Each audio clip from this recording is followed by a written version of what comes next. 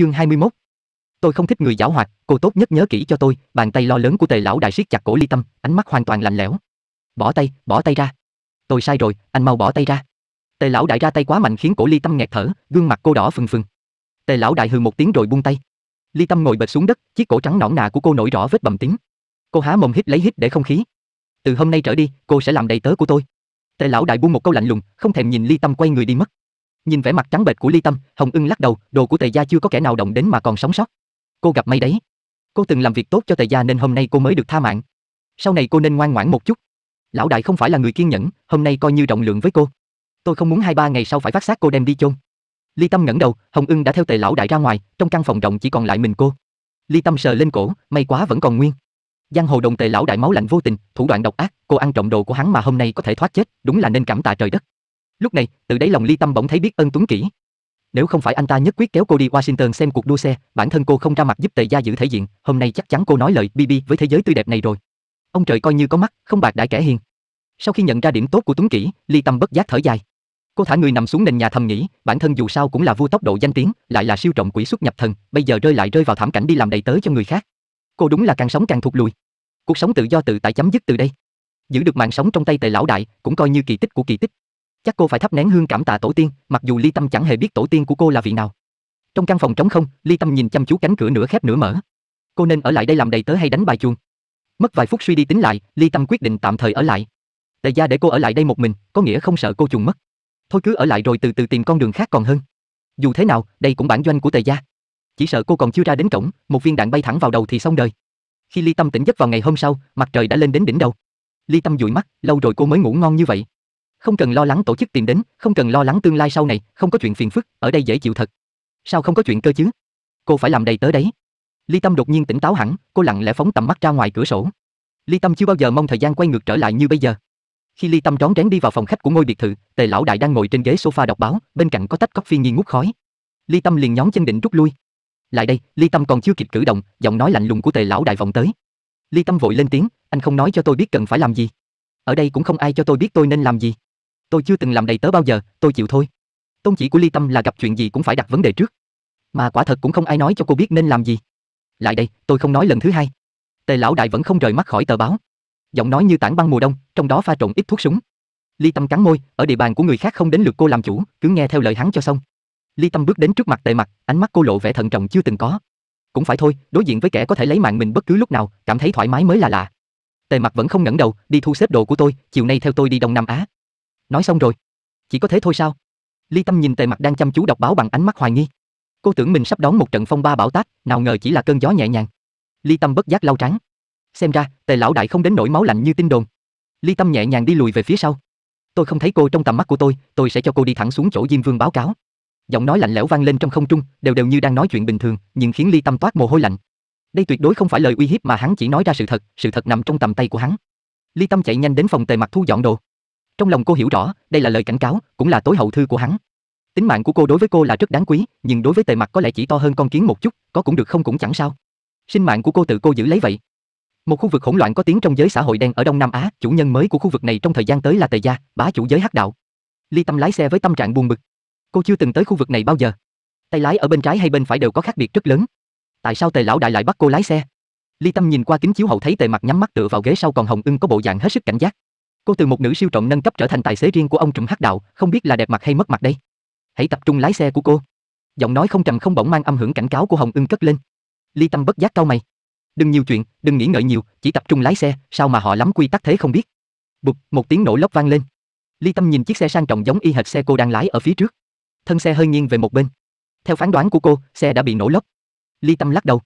Lốp xe Cadillac cũng tệ như vậy sao? Chiếc xe còn là hàng đặc nữa chứ, đúng là làm mất mặt nhãn hiệu xe hơi nổi tiếng thế giới quá đi mất. Cô vẫn đang nghĩ ngợi lung tung, bên tai đột nhiên có tiếng hồng ưng, rẽ sang trái, tăng tốc vượt qua chiếc xe đó. Ly Tâm hơi sững người, có ai cướp đường? Cô vẫn còn chưa kịp đánh tay lái, bỗng nghe tiếng pằng pằng pằng, Chiếc xe Cadillac đằng trước bị đạn bắn lỗ chỗ giống như tổ ong vào vẽ. Đầu óc Ly Tâm nổ tung. Cô không kịp nghĩ ngợi, liền nhấn ga, phóng như bay về phía trước. Tiếng súng nổ đùng đùng. Người hai bên đường dường như không còn xa lạ với cảnh tượng này. Họ dạt sang hai bên tìm chỗ ẩn nấp nhưng không hề la hét ầm ĩ, mọi chuyện xảy ra như trong phim điện ảnh, nhanh chóng và kịch liệt. Nghe thấy tiếng đạn bắn vào thân xe, tim Ly Tâm suýt rớt ra ngoài. Cô nắm chặt tay lái, đạp ga hết cỡ. Cô lái chiếc Cadillac sang trọng kềnh càng như chiếc Ferrari mui trần của cô, luồn lách trên đường phố hẹp và phóng với tốc độ tên lửa. Sợ gì chứ, đằng sau vọng đến tiếng nói lạnh lùng, không một chút hoảng hốt và bất an. Ly Tâm liếc qua gương chiếu hậu, thấy Tề Mặc ngồi dựa vào ghế sau, sắc mặt không hề thay đổi. Ánh mắt hắn lóe lên một tia chết chóc, không một chút hoảng loạn. Hồng Ưng ngồi bên cạnh lạnh lùng nhìn ra ngoài, gương mặt lộ vẻ thận trọng nhưng cũng không hề mất bình tĩnh. Có thể thấy, họ đã quá quen thuộc với cảnh tượng này. Lão đại, Hắc Ưng đã ra tay chống trả bọn chúng rồi. Hiện tại vẫn chưa biết đối phương là ai. Một người đàn ông tóc đỏ vừa nhảy lên xe ngồi ở ghế phụ cung kính bẩm báo. Tiêu diệt toàn bộ, Tề Mặc mở miệng. Vâng ạ. Người đàn ông tóc đỏ và Hồng Ưng không hề tỏ ra bất ngờ trước quyết định tàn nhẫn của Tề Mặc.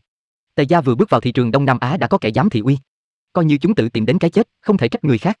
Hơn nữa, đây cũng coi như hành động giết gà cho khỉ xem, để mọi người biết Tề gia không phải là hư danh trên giang hồ. Đúng 8 giờ có mặt ở khách sạn Sheraton. Cô còn 10 phút.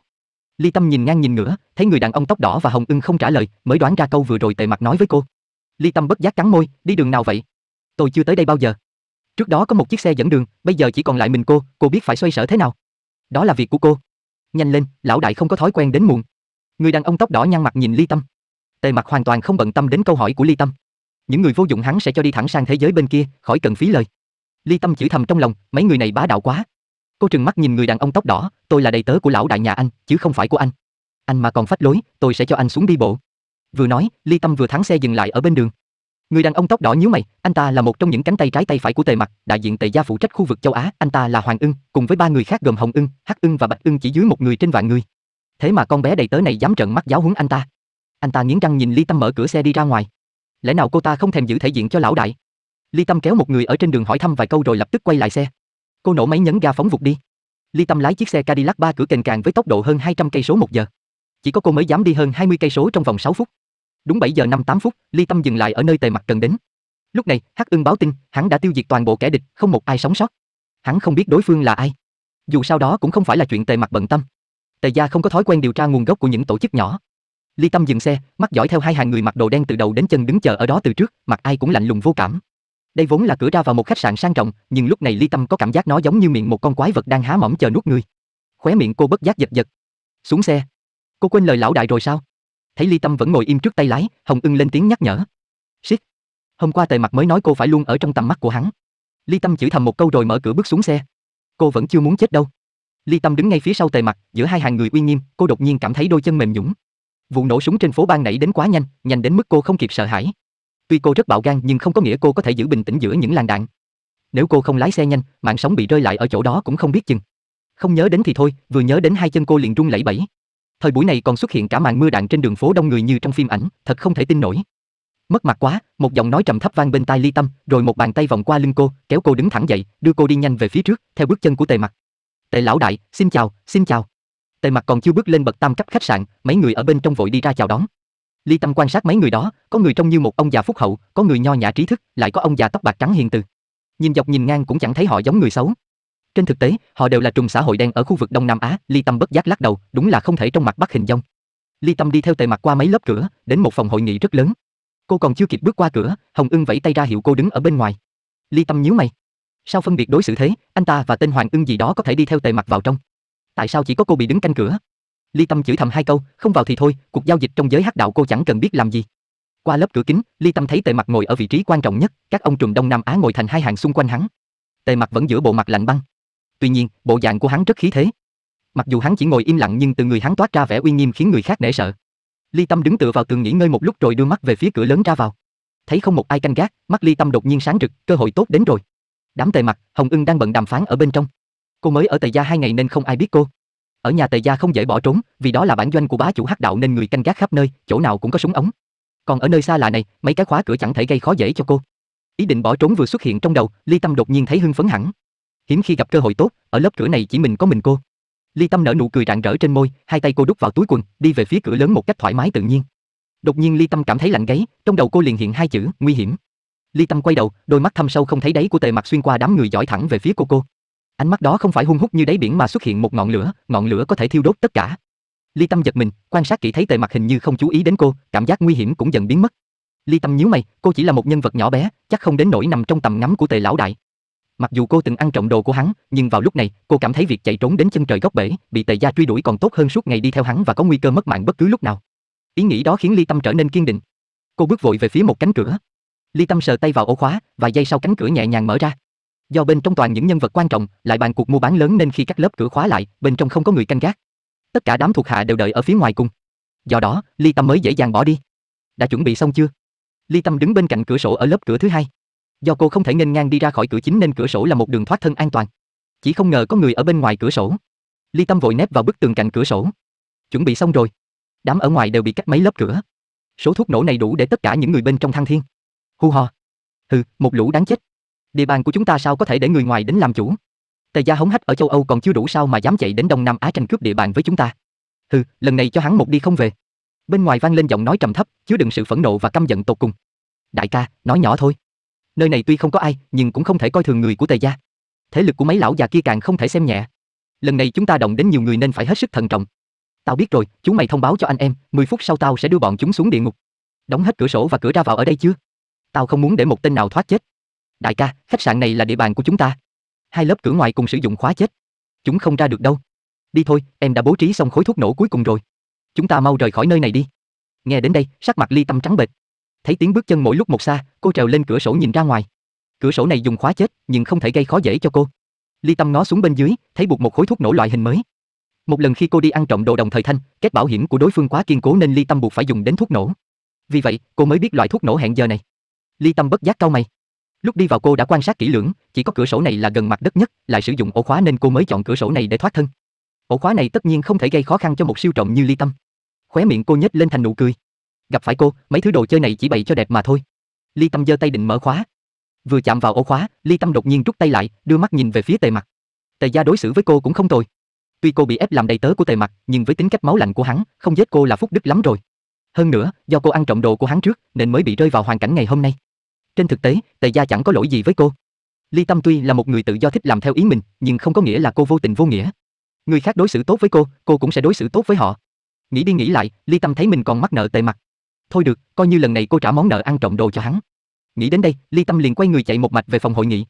Cánh cửa kính chống đạn rất dày, Ly Tâm đập mạnh thế nào cũng không phát ra tiếng động. Ly Tâm lo lắng vẫy tay với Tề Mặc. Đáng chết thật, lúc cần nhìn thì hắn không nhìn thấy, lúc không cần nhìn lại chẳng qua nổi mắt hắn. Ly Tâm thấy Tề Mặc không có bất cứ phản ứng nào. Cô cuốn lên vừa đá chân vào cửa vừa giơ tay vẫy. Tề Mặc đang cúi xuống xem tài liệu gì đó. Không biết có phải do thần giao cách cảm, hắn từ từ ngẩng đầu đưa mắt về phía Ly Tâm. Thấy bộ dạng hốt hoảng của Ly Tâm, ánh mắt hắn vụt qua một tia khác lạ. Tề Mặc liền quay sang Hoàng Ưng, mở cửa. Cửa vừa mở, Ly Tâm chạy vội đến phía trước Tề Mặc.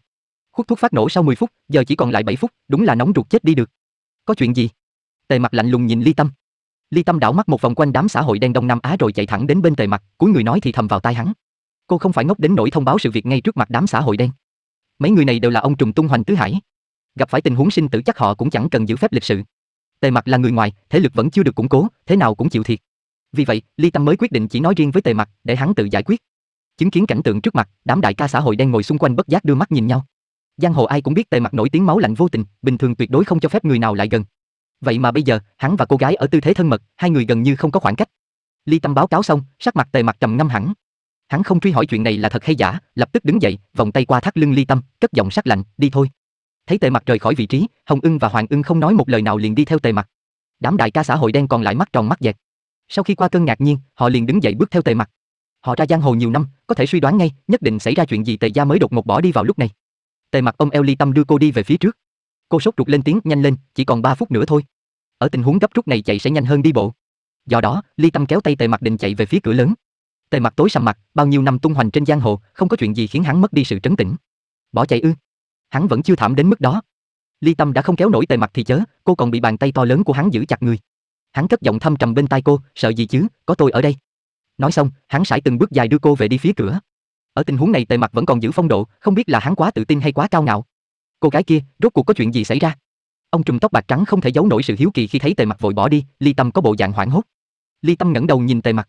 Thấy hắn không có ý phản đối, cô liền mở miệng, có thuốc nổ. Ba từ đơn giản như không thể đơn giản hơn, nhưng khiến đám đại ca Đông Nam Á tái mét mặt. Trong giây lát, tất cả hoảng hốt chạy thục mạng về phía trước, không cần biết thế nào là phong độ và khí thế. Chỉ có hai người lớn tuổi nhất đưa mắt nhìn nhau rồi bám theo sau Tề Mặc. Tề gia là bá chủ nên họ tin tưởng Tề Mặc có khả năng và thủ đoạn ứng phó. Chúng ta không mở được cửa, làm thế nào bây giờ? Thấy cửa không thể mở, đám đại ca chạy trước càng trở nên hoảng loạn. Phá khóa. Hoàng Ưng không biết rút ở đâu ra khẩu súng nhằm vào ổ khóa. Đám đại ca Đông Nam Á thoáng kinh ngạc khi thấy Hoàng Ưng có súng trong khi họ đã rà soát kỹ lưỡng không cho bất cứ ai mang vũ khí vào phòng hội nghị. Họ lập tức hét lớn, không được. Đây là khóa khống chế, nếu anh phá hỏng khóa, cửa sẽ càng bị đóng chặt. Ban đầu, do tính chất quan trọng của cuộc hội đàm, họ mới chọn khách sạn nội bộ này. Không ngờ vào lúc này, họ lại bị chính thứ công nghệ cao của khách sạn trói chặt chân tay. Để đảm bí mật và an toàn cho cuộc gặp gỡ, họ còn cắt đứt mọi thông tin liên lạc. Bây giờ, họ không thể thông báo cho người bên ngoài. Họ nhận ra đây là một quyết định thất sách thì đã muộn. Tránh ra. Tề Mặc đảo mắt một vòng rồi cất giọng đanh thép. Tất cả những người đứng ở đằng trước theo phản xạ tránh sang hai bên. Tề Mặc giơ tay đẩy Ly Tâm về phía trước. Ly Tâm không nói một lời nào, bước lên dùng một cái kẹp mở khóa. Một tiếng bịch vang lên, khóa cửa mở ra. Đám đại ca Đông Nam Á nhường bước, để Tề Mặc đưa Ly Tâm đi trước rồi mới tràn lên như ông vỡ tổ. Tích tắc, tích tắc, thời gian trôi qua rất nhanh. Ly Tâm là người rất nhạy cảm với thời gian. Mỗi lần đi ăn trộm, cô đều có thể khống chế thời gian nên khá an nhàn trong khoảng thời gian cực ngắn. Công việc đạo chích lại không phải đối mặt với giây phút sinh tử như hôm nay. Ăn trộm bị bắt còn có khả năng thoát thân, chứ không kịp rời khỏi nơi này, cô chỉ nói nước xuống địa ngục báo danh. Sớm biết như vậy cô sẽ không quay lại thông báo cho Tề mặt, món nợ nhân tình kiếp sau cô trả chắc cũng không sao. Toàn thân Ly Tâm ướt đẫm mồ hôi. Trong đầu cứ nghĩ đến một giây một phút trôi qua khiến bàn tay cô bất giác run lẩy bẩy, không tài nào mở nổi ổ khóa cuối cùng. Bình tĩnh. Một giọng nói bá đạo vang lên, rồi một bàn tay to lớn giữ chặt cổ tay đang run rẩy của Ly Tâm. Ly Tâm ngẩng đầu nhìn Tề Mặc. Thân sắc của hắn không hề thay đổi, không xuất hiện một tia sợ hãi hay hốt hoảng. Đôi mắt hắn lộ vẻ băng giá và chết chóc, nhưng lại khiến Ly Tâm bỗng nhiên thấy yên lòng hẳn. Tách, tiếng mở khóa vang lên trong không khí yên tĩnh đến nín thở.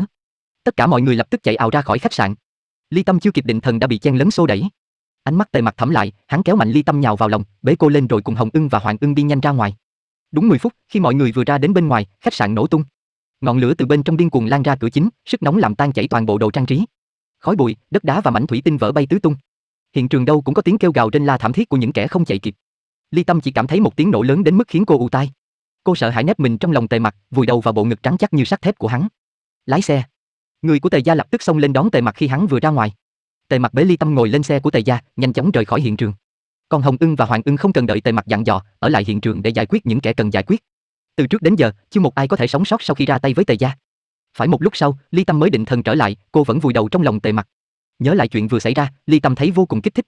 Đúng là gây cấn quá, suýt nữa thì mất mạng. Cô thầm mong những chuyện gây cấn như thế này trong tương lai càng ít xảy ra càng tốt. Cô mới làm đầy tới hai ngày đã hai lần suýt chết. Cứ tiếp tục sống như vậy, chắc cô sẽ giảm thọ 10 năm. Xin hỏi, hôm nay tôi có được tính là lập công? Ngước nhìn gương mặt sát khí lạnh lùng của Tề Mặc, Ly Tâm miễn cưỡng mỉm cười. Tề Mặc cúi xuống nhìn người trong lòng. Gương mặt cô mới chỉ vài phút trước vẫn còn vô cùng hoảng sợ, bây giờ đã hoạt bát linh lợi. Hắn cất giọng trầm trầm, "Cô muốn gì?" Ly Tâm nở nụ cười gian tà, "Tôi chỉ ăn trộm của anh một miếng ngọc bội nho nhỏ, ân cứu mạng lần này chắc trả đủ rồi chứ. Anh có thể coi chúng ta bây giờ không ai nợ ai. Từ nay trở đi, anh đi đường anh, tôi đi đường tôi." Đối diện với gương mặt tươi cười của Ly Tâm, Tề mặt cất giọng trầm trầm, âm sắc không thay đổi, làm đầy tớ phải có bổn phận cứu chủ nhân. Bổn phận? Anh nói đùa gì thế? Nghe câu nói của Tề mặt, Ly Tâm tức tối trận tròn mắt nhìn hắn.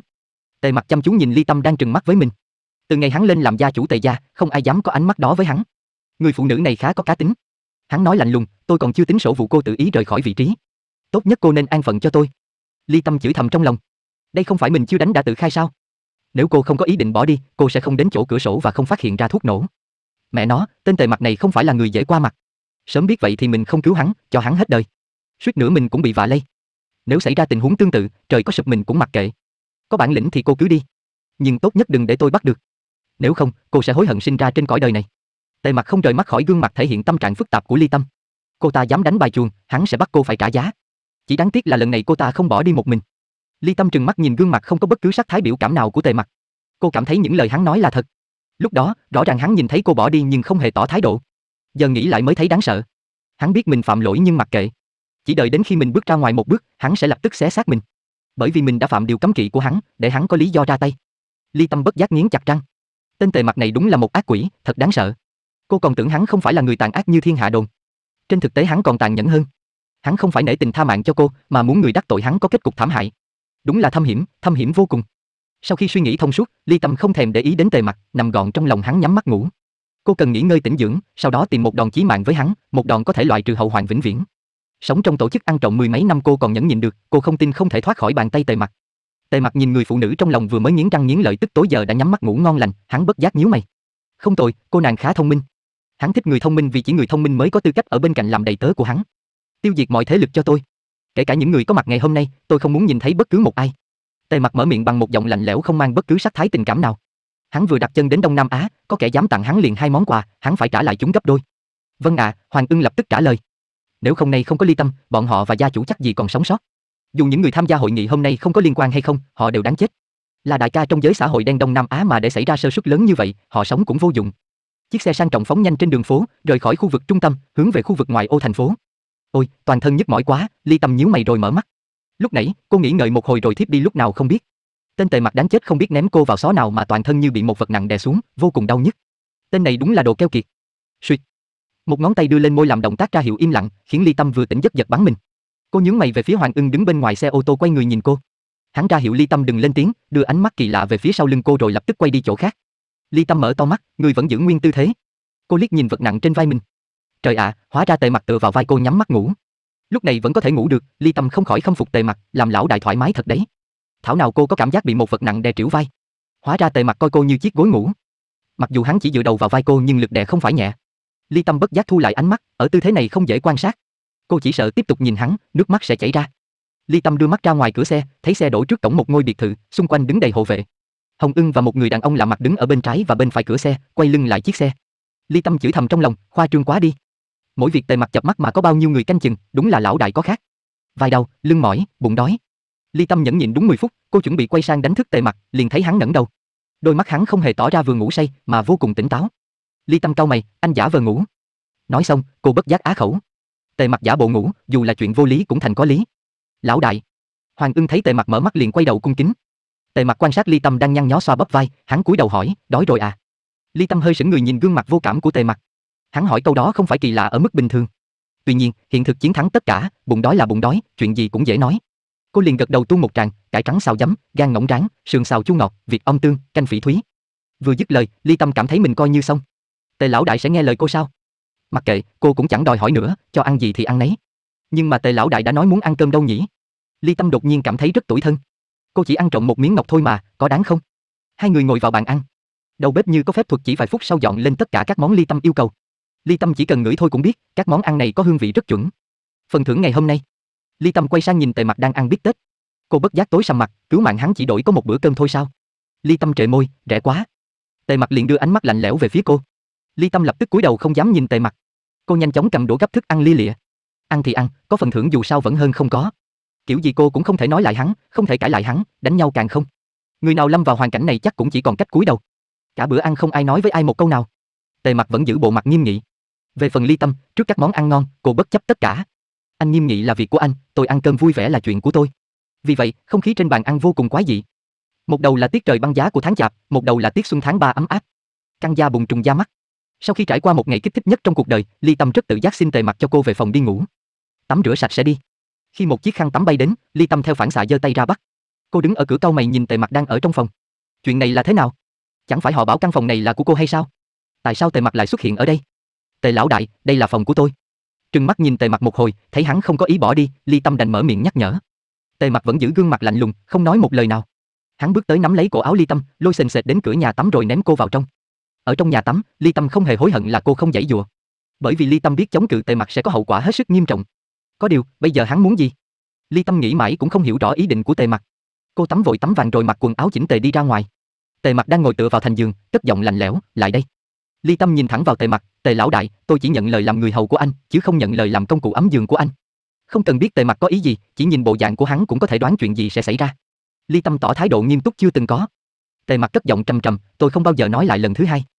Mặc dù ánh mắt của Tề Mặc không lộ rõ sát khí nhưng người đối diện không khỏi toát mồ hôi lạnh. Trong không khí nồng nặc mùi thuốc súng đó, niềm kiêu hãnh từ trong xương tủy Ly Tâm đột nhiên bộc phát. Cô có thể chấp nhận làm đầy tớ vì dù sao mình cũng là kẻ yếu thế. Nhưng làm công cụ ấm giường, hắn đừng có mơ. Nghĩ đến đây, Ly Tâm chẳng còn kiên nể ai hết, nếu Tề lão đại muốn sử dụng căn phòng này, tôi sẽ đổi sang chỗ khác. Anh muốn mỹ nhân ấm giường, tôi sẽ đi thông báo cho Hồng Ưng. Xin cáo từ. Ly Tâm vừa nói vừa lùi bước rồi quay người đi ra ngoài. Cô to gan thật.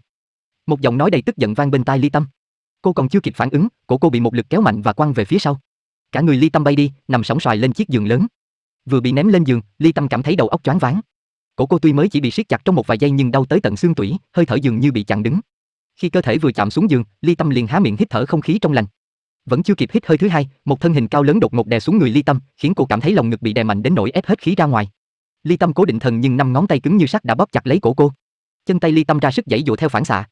Dưới thân hình như núi Thái Sơn đó, Ly Tâm vốn không thể nào chống cự. Trong cơn giãy dụa, hai tay Ly Tâm bị Tề Mặc nhét sau lưng cô. Hai chân cô bị một đùi của Tề Mặc đè chặt. Một tay Tề Mặc giữ trán Ly Tâm. Hắn nhìn Ly Tâm bằng ánh mắt lạnh lùng, bàn tay còn lại siết cổ Ly Tâm dần dần tăng lực. Ly Tâm đột nhiên cảm thấy không khí trong lòng ngực cô chỉ có ra không vào. Đối diện với đôi mắt lạnh lẽo dị thường ở phía trên, Ly Tâm cắn chặt môi nhất quyết không cầu xin hắn. Ly Tâm bình thường là người tự do tùy ý nhưng không phải thế nào cũng xong. Ý chí quật cường không chịu khuất phục từ cốt cách của cô bây giờ mới thật sự bộc lộ rõ. Ăn nói tử tế với cô thì còn có thể thương lượng. Giở trò bạo lực, có chết cô cũng không khuất phục. Tề mặt lạnh lùng nhìn gương mặt cuộc cường của Ly Tâm. Bị hắn bóp chết đến nơi, cô vẫn không khóc lóc, không hoảng loạn, không sợ hãi, chỉ có tia bất phục trong ánh mắt. Hắn hơi nhếch miệng, bàn tay đang bóp cổ Ly Tâm càng siết mạnh hơn.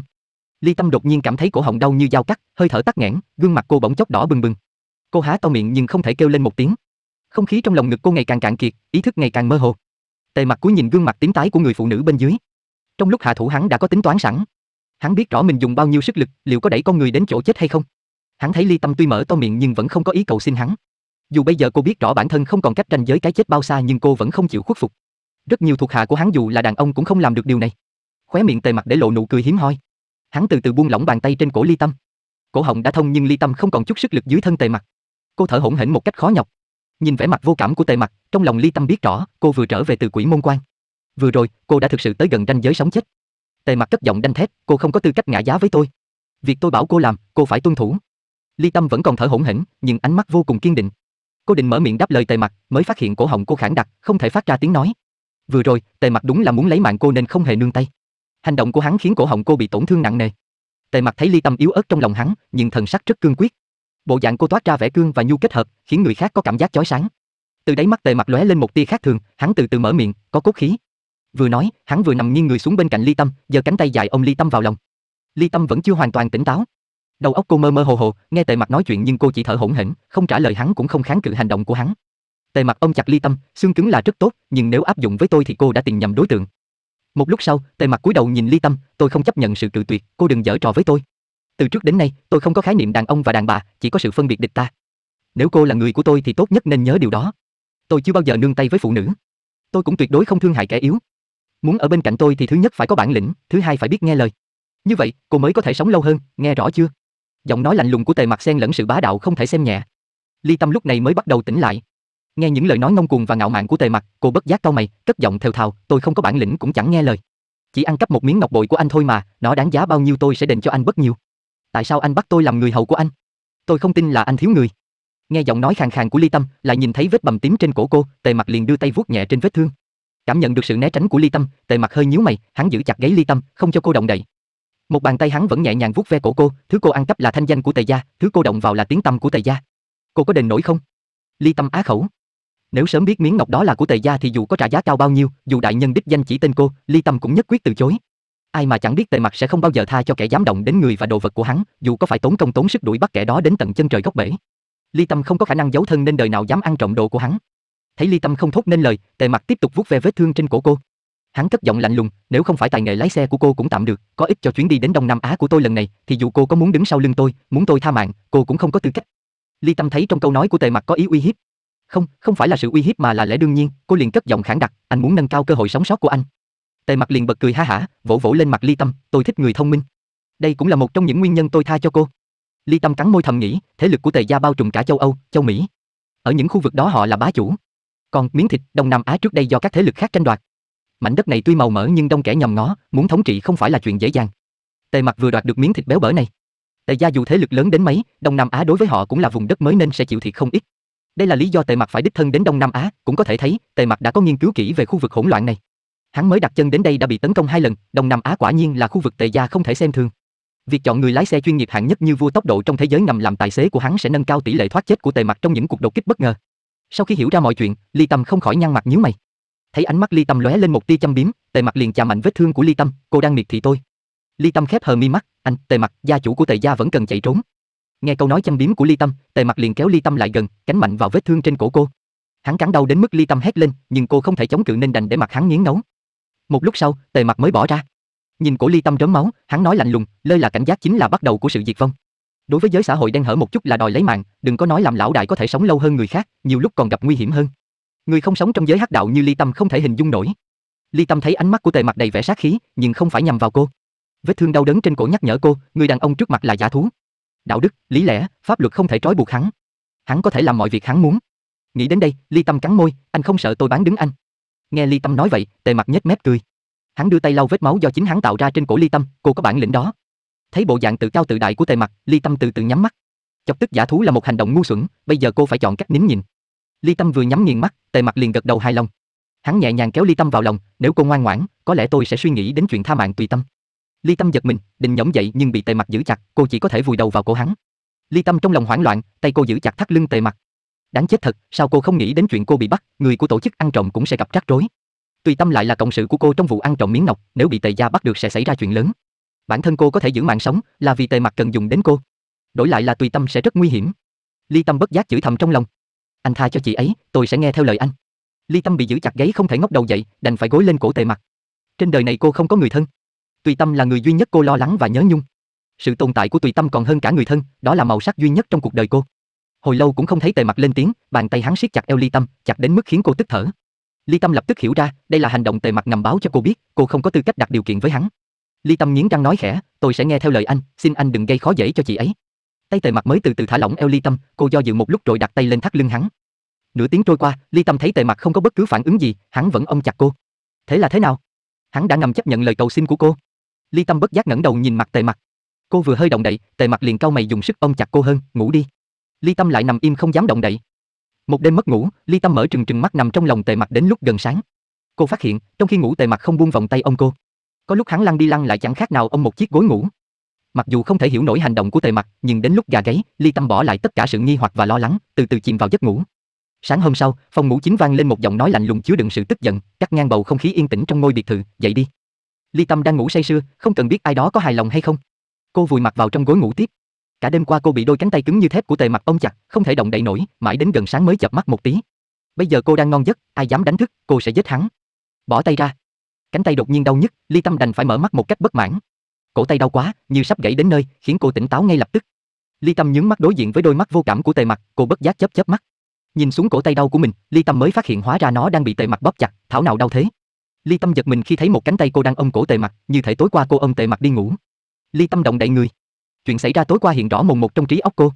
Ly Tâm liền thả tay xuống, mắt vẫn không rời khỏi Tề Mặc. Lão đại, chuyện ngày hôm qua đã điều tra rõ rồi. Lão đại lúc nào xem xét ạ? À? Hồng Ưng từ ngoài cửa hỏi vọng vào. Hắn nghe thấy bên trong có tiếng nói mới dám mở miệng xin chỉ thị. Tề Mặc nhíu mày, chú toàn quyền xử lý. Vâng, thưa lão đại. Theo lịch trình đã định, hôm nay chúng ta sẽ đi Lý Trang. Lão đại lúc nào mới xuất phát ạ? À? Hồng Ưng hỏi một cách dứt khoát. Anh ta không hỏi liệu có phải vì chuyện xảy ra ngày hôm qua mà lịch trình hôm nay bị hủy bỏ hay không. Anh ta hỏi thẳng bao giờ xuất phát, chứng tỏ anh ta hiểu rõ tính của Tề Mặc và tin tưởng thực lực của Tề gia. Tề Mặc giơ tay nhìn đồng hồ, trả lời ngắn gọn, 20 phút sau. Tiếng bước chân của Hồng Ưng nhỏ dần rồi biến mất hoàn toàn. Nhân lúc đó, Ly Tâm đi vào nhà tắm.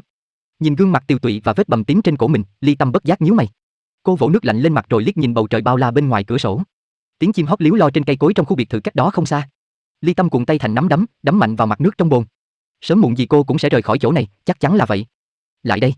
Ly Tâm vừa từ phòng tắm ra ngoài, thấy Tề Mặc ngồi trên giường, tóc hắn ướt sũng nước nhỏ từng giọt xuống. Hắn không mặc đồ, trên người chỉ quần một chiếc khăn tắm. Bên cạnh hắn đặt đống quần áo là lược phản phiêu. Ly Tâm liền bước đến cầm chiếc khăn mặt lau đầu cho Tề Mặc. Cả đời này cô chẳng học thứ gì cho ra hồn, chỉ việc quan sát nét mặt là học rất nhanh. Ly Tâm vừa đặt tay lên đầu Tề Mặc, hắn theo phản xạ định tung nắm đấm về phía cô. Nhưng ngay sau đó, Tề Mặc liền thả lỏng bàn tay. Bao nhiêu năm được người khác hầu hạ, thậm chí mặc quần áo cho hắn, nhưng không người nào dám động đến phần đầu của hắn vì đây là nơi nhạy cảm nhất. Đầu là bộ phận yếu ớt nhất của Tề Mặc, không chịu nổi bất cứ sự tấn công nào. Lúc này, bàn tay Ly Tâm dịu dàng xoa nhẹ nhẹ trên đầu Tề Mặc. Hắn vốn có thể chất nhạy cảm trời sinh, nhưng sau khi ông cô ngủ qua một đêm, hắn đã mất đi sự cảnh giác với cô. Tề Mặc không cảm thấy sự nguy hiểm từ Ly Tâm nên hắn mới mặc nhận hành động này của cô. Ly Tâm không hề biết hành động rất bình thường của cô suýt nữa khiến cô gặp nguy hiểm. Sau khi lau khô tóc cho Tề Mặc, Ly Tâm cầm lấy bộ quần áo ở bên cạnh. Cô hơi nhíu mày gỡ chiếc khăn tắm duy nhất trên người hắn. Thân thể người đàn ông hiện ra khiến Ly Tâm đỏ bừng mặt trong giây lát. Từ nhỏ đến giờ, đây là lần đầu tiên cô tận mắt thấy một người đàn ông không mặc quần áo. Tề Mặc không hề có phản ứng, hắn đứng dậy chờ Ly Tâm mặc đồ cho hắn. Ly Tâm cố giữ bình tĩnh, mặc theo thứ tự từ áo đến quần lên người Tề Mặc. Cô liếc nhìn thân hình trắng chắc và làn da màu mật ong của Tề Mặc. Người hắn xuất hiện rất nhiều vết sẹo, có vết thương trắng trắng tròn tròn, lại có vết sẹo là một đường dài trên ngực, trên đùi hắn. Ly Tâm bất giác cau mày. Cô tưởng Tề Mặc sinh ra đã ngồi lên vị trí lão đại. Xem ra vị trí cao nhất không dễ dàng như cô nghĩ. Những vết sẹo này nói cho cô biết, hắn từng có một quá khứ như thế nào. Sau khi hoàn tất việc mặc đồ, Tề Mặc không nói một câu cũng không tỏ bất cứ thái độ gì, hắn lập tức rời khỏi phòng. Ly Tâm chỉnh đốn lại quần áo của mình, rồi theo hắn ra ngoài. Từ hôm nay trở đi, nhiệm vụ quan trọng của cô không phải tìm cách bỏ trốn mà làm thế nào để tìm ra tung tích của Tùy Tâm. Hy vọng Tề Mặc thả người còn khó hơn mong trời mưa đỏ ấy chứ. Cô sao vậy?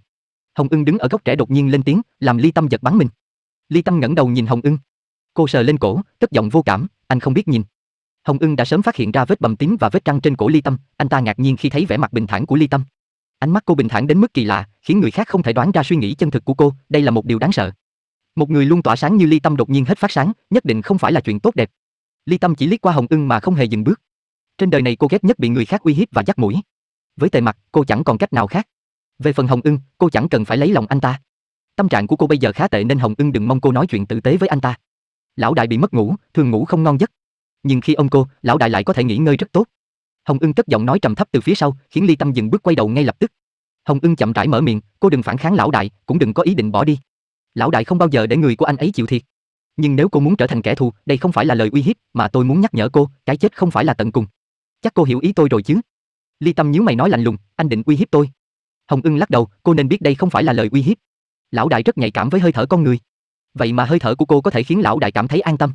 Cảnh tượng trên ô tô ngày hôm qua khiến anh ta vô cùng kinh ngạc. Bao nhiêu năm nay Hồng Ưng chưa từng thấy tề mặt gần gũi ai. Đến mấy thuộc hạ thân tín nhất cũng không lại gần hắn trong phạm vi một mét. Vậy mà Ly Tâm có thể ở trong lòng hắn yên lành, hai người lại ngủ chung suốt một đêm. Qua chuyện này bọn họ có thể xác định, Ly Tâm đúng là có khả năng giúp Tề Mặc ổn định tinh thần. Nghe Hồng Ưng nói vậy, Ly Tâm bất giác nhăn mặt. Thảo nào đêm qua Tề Mặc chỉ ôm cô ngủ mà không có bất cứ hành động nào khác. Hóa ra, hắn thật sự coi cô là gối ôm của hắn. Nghĩ đến đây, sự phẫn nộ của Ly Tâm đối với Tề Mặc giảm đi chút ít. Việc hắn xem cô như gối ôm và thuốc ngủ cũng chẳng phải là vấn đề nghiêm trọng gì. Cô hãy cứ ở lại đây đi. Chỉ cần cô còn ở bên cạnh lão đại một ngày, làm ban và tổ chức ăn trọng chẳng thể làm gì cô. Hơn nữa, dù cô có muốn hay không, bây giờ cô đã dính đến tề gia rồi. Giới hắc đạo ở Đông Nam Á đều biết, lão đại gần đây xuất hiện một người đàn bà bên cạnh, dù trước kia anh ấy nổi tiếng không bao giờ gần gũi nữ sắc. Nếu không có sự bao bọc của lão đại, cô sẽ có kết cục như thế nào chắc cô cũng biết. Động đến người của lão đại sẽ phải trả một cái giá vô cùng đắt. Ở bên lão đại là nơi an toàn nhất của cô bây giờ. Chỉ cần cô không làm trái ý lão đại, cô sẽ sống rất tốt. Hồng Ưng chăm chú nhìn Ly Tâm. Những lời nói vừa rồi vượt qua phạm vi chức trách của anh ta. Nếu không phải quá bất ngờ về chuyện Ly Tâm có thể giúp Tề mặt ngủ ngon giấc, anh ta cũng sẽ không nói những lời này với cô. Lời khuyên này là cực hạn những điều anh ta có thể nói ra. Ly Tâm thấy Hồng Ưng khuyên nhủ xong lập tức quay người bỏ đi, cô bất giác biểu môi. Không ngờ Hồng Ưng lại nói với cô những lời này, xem ra anh ta đã coi cô là người đàn bà của Tề Mặc. Ly Tâm sờ vết răng cắn trên cổ mình rồi đi về phía nhà ăn. Họ muốn hiểu nhầm thế nào cũng được. Cô chỉ còn 2 phút thôi đấy. Hoàng Ưng bước ra từ phòng chính, cau mày khi thấy Ly Tâm đi về phía nhà ăn. Ly Tâm sững lại, sao thế? Tôi vẫn còn chưa ăn sáng. Hoàng Ưng sờ khẩu súng loại hình mới nhất trên tay, dắt vào thắt lưng rồi đi ra ngoài, lời của lão đại là mệnh lệnh. Nếu cô không muốn nghe thì đơn giản thôi. Anh ta vừa nói vừa quay người, giơ ngón tay nhắm bắn về phía Ly Tâm. Sau đó, anh ta nở nụ cười ngạo mạn rồi bước đi. Ly Tâm chửi thầm trong lòng, tên tệ mặt này lắm quy tắc quy định thế không biết. Cô giơ tay nhìn đồng hồ, vẫn còn một phút 40 giây. Mắt Ly Tâm đảo quanh rồi cô chạy như bay về phía nhà bếp. Nghe tiếng bước chân chạy gấp gáp, Hoàng Ưng liền quay đầu. Anh ta trợn mắt nhìn theo bóng Ly Tâm, lẽ nào cô nàng dám chống lại mệnh lệnh của lão đại? Hai chiếc xe Hummer và hai chiếc Cadillac đổ thành hàng ở cổng biệt thự. Mọi người đều có mặt đầy đủ, Tề Mặc cũng đã ngồi yên vị trên xe. Chỉ còn thiếu đúng một người, đó là siêu trọng Ly Tâm, lái xe riêng kim đầy tớ, kim gối ông của Tề Mặc. Cô ta làm gì vậy? Không biết bao nhiêu người đợi một mình cô ta. Hồng Ưng tỏ ra không hài lòng. Hoàng Ưng liếc Tề Mặc qua gương chiếu hậu. Anh ta thấy hắn tựa vào ghế xe, gương mặt vô cảm, không một tia tức giận cũng không ôn hòa, nhưng vẫn toát vẻ lạnh lẽo đáng sợ. Hoàng Ưng trầm mặt một lúc, vẫn còn 10 giây.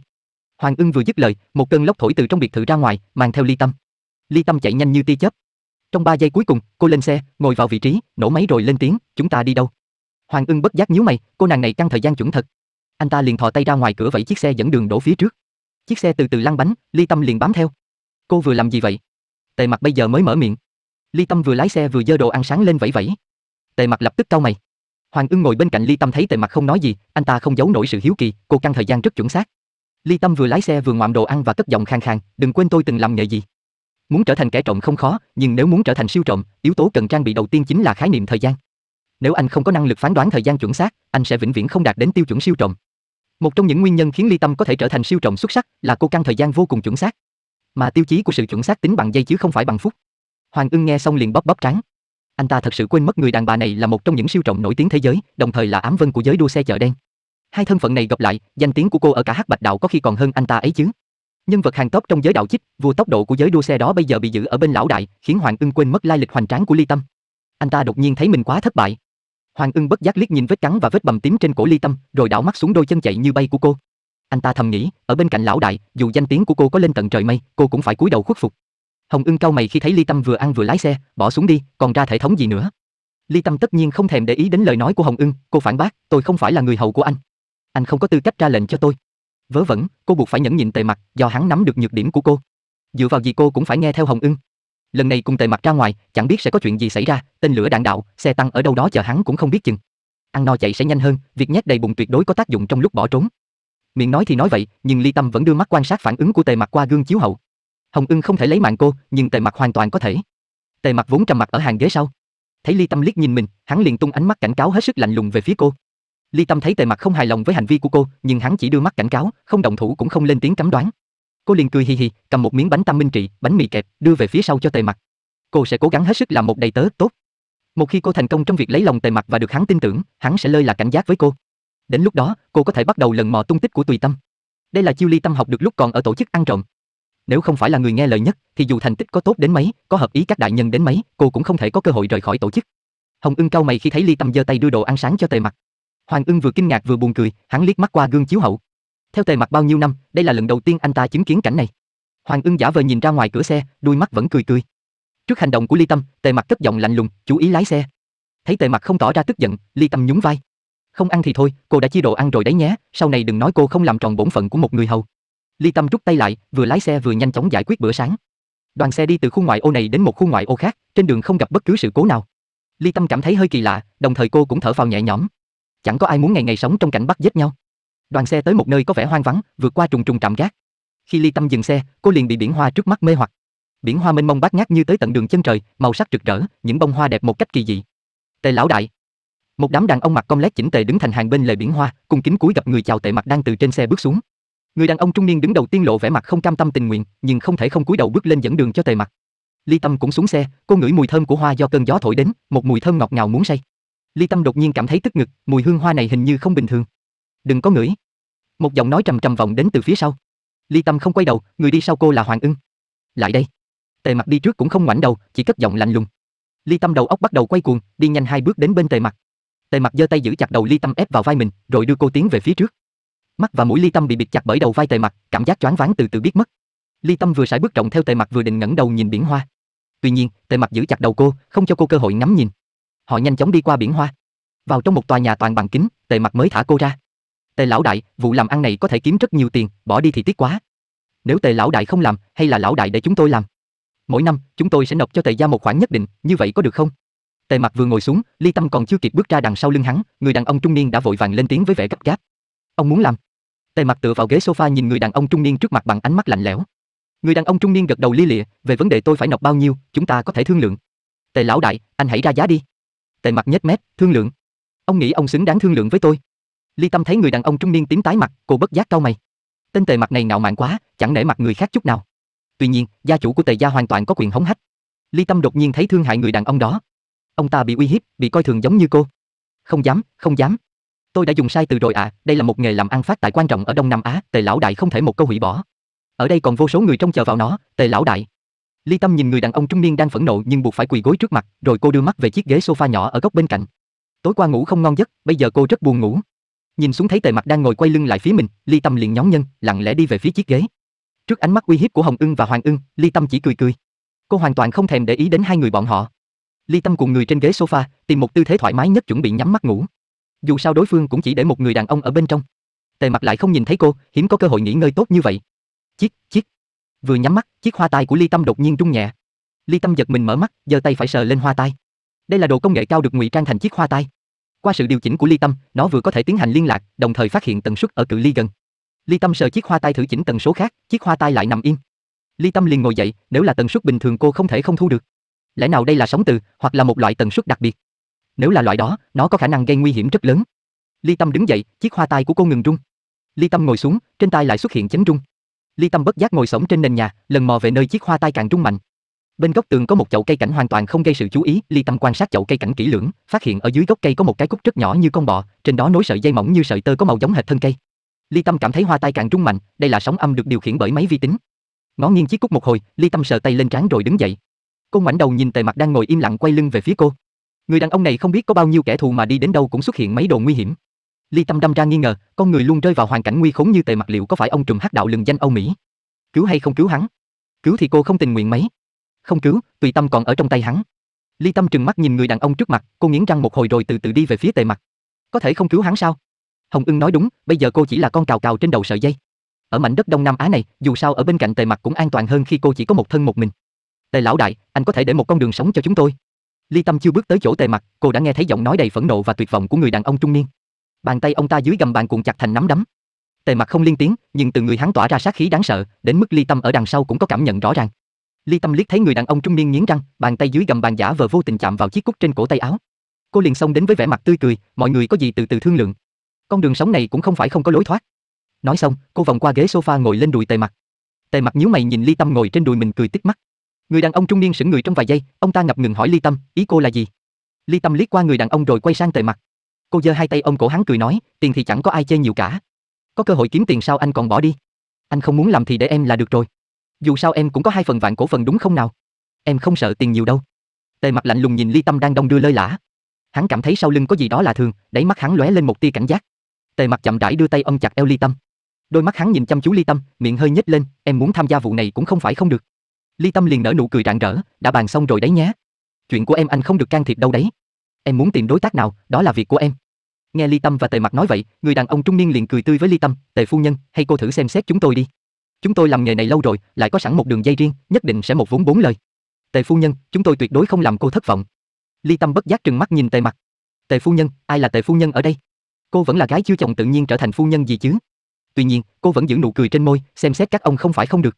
Có điều, ông vừa tỏ thái độ rất không tốt với mặt của tôi. Thái độ này. Ly Tâm kéo dài giọng nói, môi nở nụ cười tươi, nhưng ánh mắt của cô lóe lên tia phẫn nộ, trong lòng thấy buồn nôn. Mặt gì chứ, mà thì đúng hơn, từ mặt và từ ma quỷ đồng âm. Người đàn ông trung niên hốt hoảng đứng dậy cúi người cung kính, "Tề lão đại, Tề phu nhân, tôi." Người đàn ông chưa kịp dứt lời, Hồng Ưng và Hoàng Ưng nãy giờ vẫn đứng sau lưng Tề Mặc đột ngột xông đến như tia chớp. Bọn họ giữ chặt hai tay người đàn ông bẻ quạt ra phía sau, khiến ông ta cảm thấy xương khớp như bị gãy rời. Các người làm gì vậy? A. Người đàn ông phẫn nộ kêu lên, tay càng bị Hồng Ưng giữ chặt hơn. Lúc này, Ly Tâm mới thở phào nhẹ nhõm. Cô đảo mắt qua Hồng Ưng và Hoàng Ưng. Không tồi, hai anh chàng này đọc hiểu chữ cô viết trên lưng Tề mặt, quả nhiên là người được huấn luyện bài bản. Nếu bọn họ không hiểu ý, không biết cô còn phải nói với Tề mặt bao lời thân mật ngọt ngào nữa. Ly Tâm đứng dậy, quan sát kỹ lưỡng hàng cúc áo trên người đàn ông trung niên. Công tắc khởi động quả nhiên nằm ở tay áo. May mà cô phát hiện kịp thời, nếu không hậu quả khó lường. Thứ gì vậy? Tề Mặc lên tiếng khi nhìn thấy Ly Tâm lấy ra chiếc cúc từ tay áo người đàn ông trung niên. Ly Tâm chậm rãi mở miệng, lẽ nào Tề gia các anh không có mấy thứ công nghệ cao này? Tôi thật sự không thể hiểu nổi tại sao các anh có thể làm lớn đến như vậy. Danh tiếng của Tề gia chỉ là hữu danh vô thực thôi sao? Các anh còn xưng bá ở châu Âu, châu Mỹ nữa cơ đấy. Xem ra, người trong giới ở bên đó chỉ là một thùng. Tề Mặc lập tức sa sầm nét mặt, một ly tâm. Nhìn gương mặt tối sầm của Tề Mặc, ly tâm trời môi, tôi chỉ nói đúng sự thật mà thôi. Tôi mới đi theo anh có mấy ngày, suýt mất mạng những ba lần. Anh thử nói xem, anh làm lão đại kiểu gì thế? Vừa nói, ly tâm vừa sải bước dài đi ra bên ngoài. Tề Mặc vươn cánh tay dài giữ chặt tay ly tâm. Ly Tâm giơ bày tay còn lại nắm lấy cổ tay Tề Mặc, đi thôi, ở đây có thứ còn ghê gớm hơn cả bom. Anh muốn ở lại thì ở nhưng đừng có liên lụy tôi. Ly Tâm nói xong liền đi ra ngoài, kéo theo cả Tề Mặc. Tề Mặc nhíu mày nhìn Hồng Ưng và Hoàng Ưng, rồi bước theo Ly Tâm. Rốt cuộc ở trong đó có thứ gì? Người của chúng tôi đã kiểm tra từng ly từng tí, không tìm thấy mấy thứ bom đạn thuốc nổ có thể khiến chúng ta bị thương. Hồng Ưng lên tiếng hỏi Ly Tâm. Cả đám người nhanh chóng ra khỏi biển hoa. Cảm thấy mình đã ở nơi an toàn, Ly Tâm liền đưa chiếc cúc cho Tề Mặc, hãy bóp nát nó. Cô vừa nói vừa nấp sau lưng Tề Mặc. Nhớ đăng ký kênh F5 truyện để giúp mình có thêm động lực nha. Tề mặt cau mày, kẹp chiếc cúc vào hai đầu ngón tay. Chỉ nghe một tiếng động khẽ, chiếc cúc bị bóp vỡ vụn. Cùng lúc này, tòa nhà bằng kính trong biển hoa đột nhiên phát ra một tiếng sắc nhọn, tất cả những tấm kính vỡ tan tành. Tiếng động không hề mạnh mà đanh sắc như tiếng tô viết chọc vào tường, khiến đám Tề mặt nhăn mặt. Tề mặt đang nhíu mày, tay phải đột nhiên bị che kín. Hắn liền quay người nhìn về phía sau, thấy Ly Tâm một tay che tay mình, một tay che tay hắn. Cô nói khẽ, bịt vào, nếu không tay sẽ bị tổn thương đó. Đây là chấn trung, mắt thường có thể thấy không nghiêm trọng nhưng là thứ vũ khí giết người vô hình. Hai tay Ly Tâm không thể che hết tay của cả hai người, Tề Mặc bất động trong giây lát rồi giơ tay che bên tay còn lại của Ly Tâm. Ly Tâm lắc đầu bất lực, người đàn ông trước mặt đến giờ phút này vẫn còn muốn giữ thể diện. Cô hừm một tiếng, kéo tay Tề Mặc bịt tay mình, còn cô giơ cả hai tay che tay hắn. Nếu để lão đại hắc đạo bị biết, sẽ là một chuyện cười đáng sợ vô cùng. Hồng Ưng và Hoàng Ưng đứng bên cạnh cũng vội vàng đưa tay lên bịt kín tay mình. Tiếng động sắc nhọn dần biến mất. Ly Tâm bỏ tay khỏi tay Tề Mặc, quay đầu lại nhìn. Tòa nhà kính không còn tồn tại, chỉ còn lại một núi bột thủy tinh. Cô lắc đầu thán phục, lợi hại quá. Đáng tiếc tôi không biết làm. Công nghệ này quá tiên tiến, không phải người như cô có thể làm ra nổi. Hồng Ưng và Hoàng Ưng lập tức quay về phía ngôi nhà, chỉ nhìn thấy những người ở lại trong nhà không tử vong cũng đang hấp hối dưới đống thủy tinh. Hoàng Ưng từ từ mở miệng, xem ra, người phụ nữ này là phúc tinh của chúng ta. Hồng Ưng lắc đầu nhìn Tề Mặc và Ly Tâm vừa đi vừa nói chuyện, cô ấy là phúc tinh của lão đại. Nghe thấy câu nói của Hồng Ưng, Tề Mặc bất giác đưa mắt về phía Ly Tâm. Hắn đột nhiên sờ tay lên chiếc hoa tai của Ly Tâm, đây là thứ gì? Người của Tề gia đã rà soát kỹ lưỡng bên trong và bên ngoài ngôi nhà. Tề Mặc tin tưởng thuộc hạ của hắn không bao giờ làm việc bất cẩn. Thứ mà người của Tề gia không tìm thấy, chỉ có Ly Tâm phát hiện ra nhất định là độ công nghệ cao. Nhưng bây giờ trên người cô không có bất cứ thứ gì, ngoài đôi hoa tai. Ly Tâm liền dùng tay che hai tay, đây là đồ của tôi. Vừa nói cô vừa lùi ra phía sau. Tề Mặc chỉ nhìn cô chăm chú, không liên tiếng cũng không tịch thu đôi hoa tai của Ly Tâm. Hắn quay về phía Hồng Ưng, ở đây giao cho chú giải quyết, đừng bỏ sót người nào. Ly Tâm liếc gương mặt lạnh lùng của Tề Mặc, cô ngửa cổ lên trời thở dài, nhiều kẻ thù quá. Nhìn bộ dạng đầy vẻ bi tráng của Ly Tâm, Tề Mặc trầm mặt, cô muốn làm nghề đó. Cô định làm thế nào? Ly Tâm phất tay, anh tự giải quyết đi. Tôi không có hứng thú thò chân vào. Nhưng tôi cũng chẳng để tâm nếu anh chia lợi nhuận cho tôi. Đúng rồi, bọn họ muốn làm gì mà anh lại cắt phén con đường kiếm tiền của họ? Chặn đường kiếm cơm của người khác là một việc làm vô đạo đức. Thảo nào hắn liên tục bị người đuổi giết. Tề mặt dõi mắt về phía biển hoa, thuốc phiện. Thuốc phiện ư? Ly Tâm liền mở to mắt nhìn những bông hoa đẹp lộng lẫy. Hóa ra đây là đặc sản vùng Đông Nam Á, hoa anh túc. Lần đầu tiên Ly Tâm cảm thấy Tề mặt hợp ý cô. Cô khoanh tay trước ngực nhìn Tề mặt, nghề này có thể mang lại lợi nhuận vô cùng lớn. Thấy Ly Tâm lộ vẻ tán thưởng hiếm hoi với mình, Tề mặt liền giơ tay ôm eo Ly Tâm, đưa cô đi về phía trước. Vừa đi hắn vừa giải thích, tôi là người buôn bán vũ khí, không phải buôn bán ma túy. Hôm nay hắn đến đây chỉ để thông báo không cho phép bất cứ cuộc giao dịch ma túy nào trên địa bàn của hắn. Ma túy tuy là nghề làm ăn lớn nhưng cũng không thể lớn hơn vũ khí, hắn không có hứng thú. Đứng ở lối ra, Ly Tâm thấy khói đen cuồn cuộn bốc lên trời, một mùi nồng nặc xông vào mũi cô. Từ xa xa, ánh lửa hồng chiếu sáng một vùng. Biển hoa đẹp đã dần biến thành biển lửa. Sắc hoa trong ánh lửa càng trở nên diễm lệ. Những đóa hoa anh túc từ từ hóa thành tro bụi trong biển lửa. Ly Tâm bất giác sờ cầm, anh đúng là vừa nói đã ra tay liền. Hành động của anh cắt đứt con đường kiếm tiền của không biết bao nhiêu người. Thảo nào ở đây chẳng ai nhìn anh thuận mắt. Tôi từng nghĩ, đường đường là một lão đại hắc đạo, đi đến đâu cũng bị truy sát thì mất thể diện quá, hóa ra là vì chuyện này. Bây giờ, anh trở thành kẻ thù của cả vùng Đông Nam Á rồi. Ly Tâm vừa nói vừa tươi cười nhìn Tề Mặc. Đôi mắt Tề Mặc toàn một màu đỏ do ngọn lửa phản chiếu. Hắn nhếch môi cất giọng ngông cuồng, việc tôi làm, không ai có thể ngăn cản. Ly Tâm nhíu mày, ngạo mạn quá. Có điều, cô tán đồng hành động này của hắn, thuốc phiện chẳng phải là thứ tốt đẹp gì. Cô cười cười, vâng, địa bàn của anh, anh có thể làm chủ. Ở một hướng khác phía xa xa lại bốc lên luồng khói đen, Ly Tâm liền hỏi, chuyện gì vậy? Hôm nay là ngày đốt lửa. Tề Mặc cất giọng lạnh lùng, tất cả thuốc phiện sẽ biến mất trên địa bàn của tôi trong ngày hôm nay. Nghe Tề Mặc nói vậy, Ly Tâm sờ tay lên trán, vụ này lớn quá. Mặc dù cô không thuộc giới hắc đạo nhưng cũng từng nghe qua, Đông Nam Á là một trong những nơi sản sinh thuốc phiện lớn nhất. Tề Mặc thực sự hủy bỏ toàn bộ thuốc phiện trên địa bàn của hắn trong một ngày. Nhờ thắng Lam Bang trong cuộc đua xe, hắn đã chiếm tới 2 phần 3 địa bàn Đông Nam Á, việc làm này chắc chắn sẽ là một đả kích lớn đối với giới buôn bán ma túy. Tề Mặc đúng là quá ngông cuồng, quá hống hách, nhưng đáng chết là hành động của hắn quá tuyệt vời. Ly Tâm bất giác cười lớn, có khí chất, không hổ danh bá chủ hắc đạo. Tề Mặc không nói một câu nào, quay người đi ra cổng về phía chiếc xe ô tô. Ly Tâm cũng bước theo hắn với tâm trạng vui vẻ. Nhưng mới đi hai bước, gương mặt cô đột nhiên xa sầm.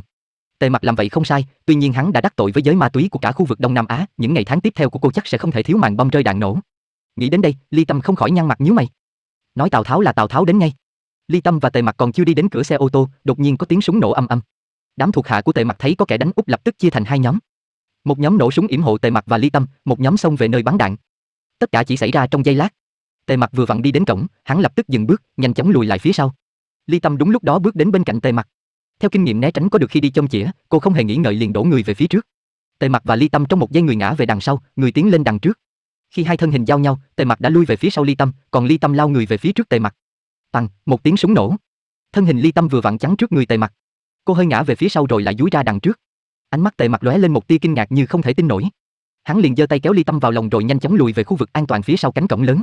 Ly Tâm bị Tề mặt đưa ra sau cánh cổng, cô nằm gọn trong lòng Tề mặt. Ly Tâm mở to mắt nhìn Tề mặt, phát hiện thần sắc hắn lộ vẻ đầy kinh ngạc. Một cơn đau ở ngực đột nhiên dội đến, Ly Tâm cúi đầu nhìn xuống, máu ở ngực cô tuôn trào, ướt đẫm cả áo sơ mi. Ly Tâm bất giác nhíu mày nhìn Tề mặt. Lúc này hắn dồn mọi sự chú ý lên người cô. Trời ạ, sao cô đen đuổi thế không biết? Cô chỉ muốn tránh đạn thôi mà. Tề Mặc tiếp tục nhìn Ly Tâm bằng ánh mắt kỳ lạ, cô giận thiếp đi trong lòng hắn.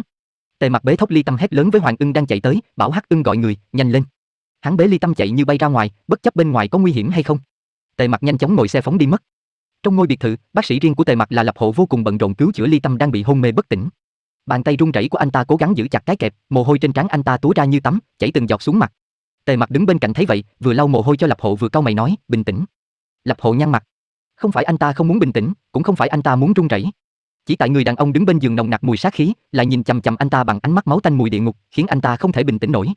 Khủng khiếp quá, chưa bao giờ Lập Hộ chứng kiến Tề mặt đáng sợ như thế này. Cô ta sống thì anh được sống.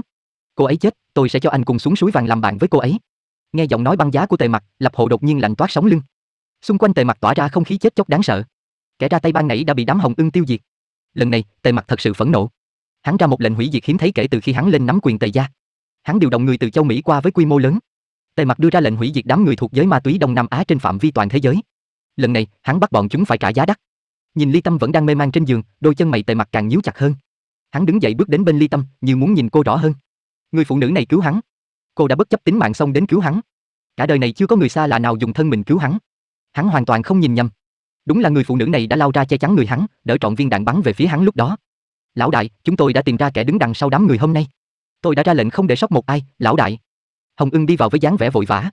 Anh ta chưa kịp nói hết câu, Tề Mặc liền quay người đi ra ngoài, cất giọng lạnh lùng, chết. Không dễ dàng như vậy. Hồng Ưng và Hắc Ưng còn ở trong phòng đưa mắt nhìn nhau. Lần này, lão đại thật sự nổi giận nên mới đích thân ra tay. Hồng Ưng bất giác liếc nhìn Ly Tâm nằm trên giường rồi quay người đi theo Tề Mặc. Thời gian trôi qua rất nhanh, một ngày một đêm qua đi trong chớp mắt. Chỉ một ngày một đêm, khu vực Đông Nam Á xảy ra thay đổi kinh thiên động địa. Từ trước đến nay không ai dám động thủ với Tề gia. Vì Tề gia là gia tộc lớn tạo dựng thế lực trong cả trăm năm.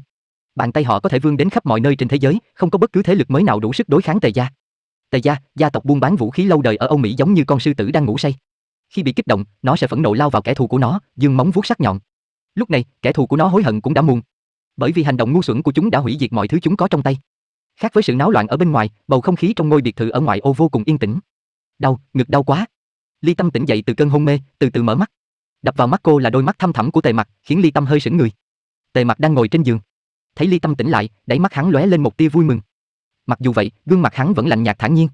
Hắn cầm cốc nước ở bên cạnh đưa tới miệng Ly Tâm, uống nước. Ly Tâm nhíu mày nhìn Tề Mặc. Môi khô quá, cô không kịp để tâm đến vẻ mặt của Tề Mặc, quay đầu uống nước. Đau quá, việc động đậy người khiến vết thương trên ngực đau đến mức Ly Tâm thở hổn hển. Thấy vậy, Tề Mặc dịch lên đầu giường, nhẹ nhàng đỡ Ly Tâm ngồi dậy, để cô tựa người vào ngực hắn. Sau đó, hắn cầm cốc nước đưa lên miệng Ly Tâm. Ly Tâm vội uống lấy uống để. Uống từ từ thôi.